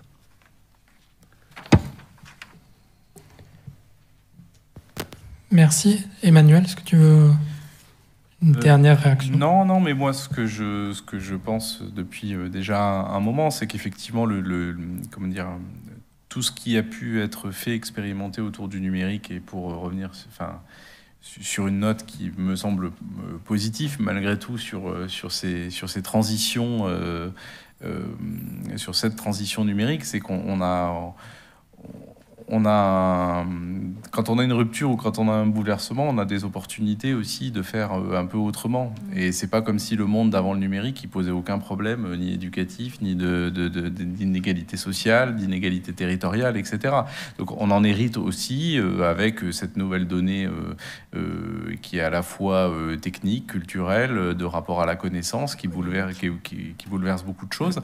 Mais ce que je pense surtout, c'est que, et je crois que je l'avais dit déjà, déjà un petit peu au, mois de juin, mais c'est euh, euh, qu'aujourd'hui, ce qui est intéressant, c'est que euh, l'arrivée de ces expériences diverses appuyées à la fois sur la culture des logiciels libres et sur la culture des communs, offre, me semble-t-il, pour assez longtemps, j'espère, de nouveaux référentiels d'émancipation euh, dont la responsabilité des acteurs euh, éducatifs aujourd'hui est de savoir comment on les réintègre dans des projets euh, éducatifs et dans des méthodes d'animation qui ont pour vocation aussi à accompagner ces processus d'émancipation. Et, là-dessus, toutes les expérimentations sont bonnes à prendre, mais il y a probablement aussi des évolutions structurelles à commencer à mettre en, en discussion pour savoir effectivement comment et et c'est aussi ce qui est intéressant dans, ce dont euh, euh, tu témoignais tout à l'heure euh, du partenariat avec Framasoft, c'est-à-dire comment en quelque sorte des, structures, des réseaux et des, expériences associatives de l'éducation populaire déjà anciennes peuvent dialoguer avec des émergences qui ne se sont pas faits sur le même rapport à l'école. et quand même, dans nos débats pédagogiques entre mouvements d'éducation populaire, euh, c'est bien euh, le rapport à la connaissance et le rapport à l'école à l'origine euh, qui fait aussi objet à la fois de coopération, mais aussi de conflit. Et moi, je pense que ce que le numérique a produit quand même en termes de rupture aujourd'hui, c'est que d'une certaine manière, et certains vont le regretter, et d'autres vont trouver ça super intéressant comme ouverture, mais ça a fait perdre à l'école une partie de sa centralité éducative. Il y a beaucoup, beaucoup des publics qui passent par les associations d'éducation populaire qui aujourd'hui euh, vont euh, s'informer, réfléchir, euh, argumenter en s'appuyant sur des ressources qui n'ont pas été exclusivement glanées dans un cadre, comme on disait, formel et, non formel, mais aussi dans un cadre d'autodidaxie complète, médiée par des outils numériques qui sont devenus mondialisés. Et ça, c'est un gros enjeu pédagogique pour, pour tout le monde, pas seulement en France, hein, voilà, mais en particulier euh, en France dans, les, dans le dialogue qu'on peut avoir aussi entre éducation populaire, on va dire, et, éducation nationale. Et je pense que de ce point de vue-là, l'éducation nationale a aussi beaucoup bougé, a été beaucoup bouleversée par le numérique euh, ces, dernières années. Quoi. Mm. Merci beaucoup. Euh, on va peut-être maintenant conclure ce projet numéro 8 euh, autour de, des enjeux du numérique et de l'éducation populaire. Il a été dit qu'on pourrait poursuivre encore euh, ce débat et qu'il y a d'autres sujets qui s'ouvrent maintenant autour des pratiques, des financements, etc. Donc, euh, à voir comment on poursuit ces, ces, questionnements. Toujours bien de repartir avec plus de questions que de réponses. on est, voilà, vous avez parlé d'une d'une rupture, vous avez parlé de changement de paradigme, on, on est dedans, vous avez parlé de l'idée d'aller sur les lieux où ça se passe, d'aller sur les lieux où euh, il y a euh, ces débats. Il me semble en tout cas qu'il y a du boulot, il y a du travail avec cet enjeu à la fois de structurer les expérimentations et de un enjeu de professionnaliser et de, et de un enjeu de formation aussi du côté de nos, nos, associations de jeunesse et d'éducation populaire. Et tout ça dans une question assez transversale. Euh, Aujourd'hui, on est sur le numérique. Le 21 novembre, on sera sur les transitions euh, en lien avec le changement euh, climatique. Il y a probablement un lien entre l'utilisation du numérique et le changement climatique. Bon, ça, il faudrait peut-être encore un prochain débat. Euh, et euh, un autre projet qui aura lieu un peu plus tard sur les questions de transition démocratique. Voilà. Et le lien entre environnement numérique et démocratie est, évident. Euh, merci à vous et il est temps de clôturer, de terminer ce projet numéro 8. Merci aux intervenants et intervenantes dans la salle. Merci à Mathieu en ligne et à bientôt.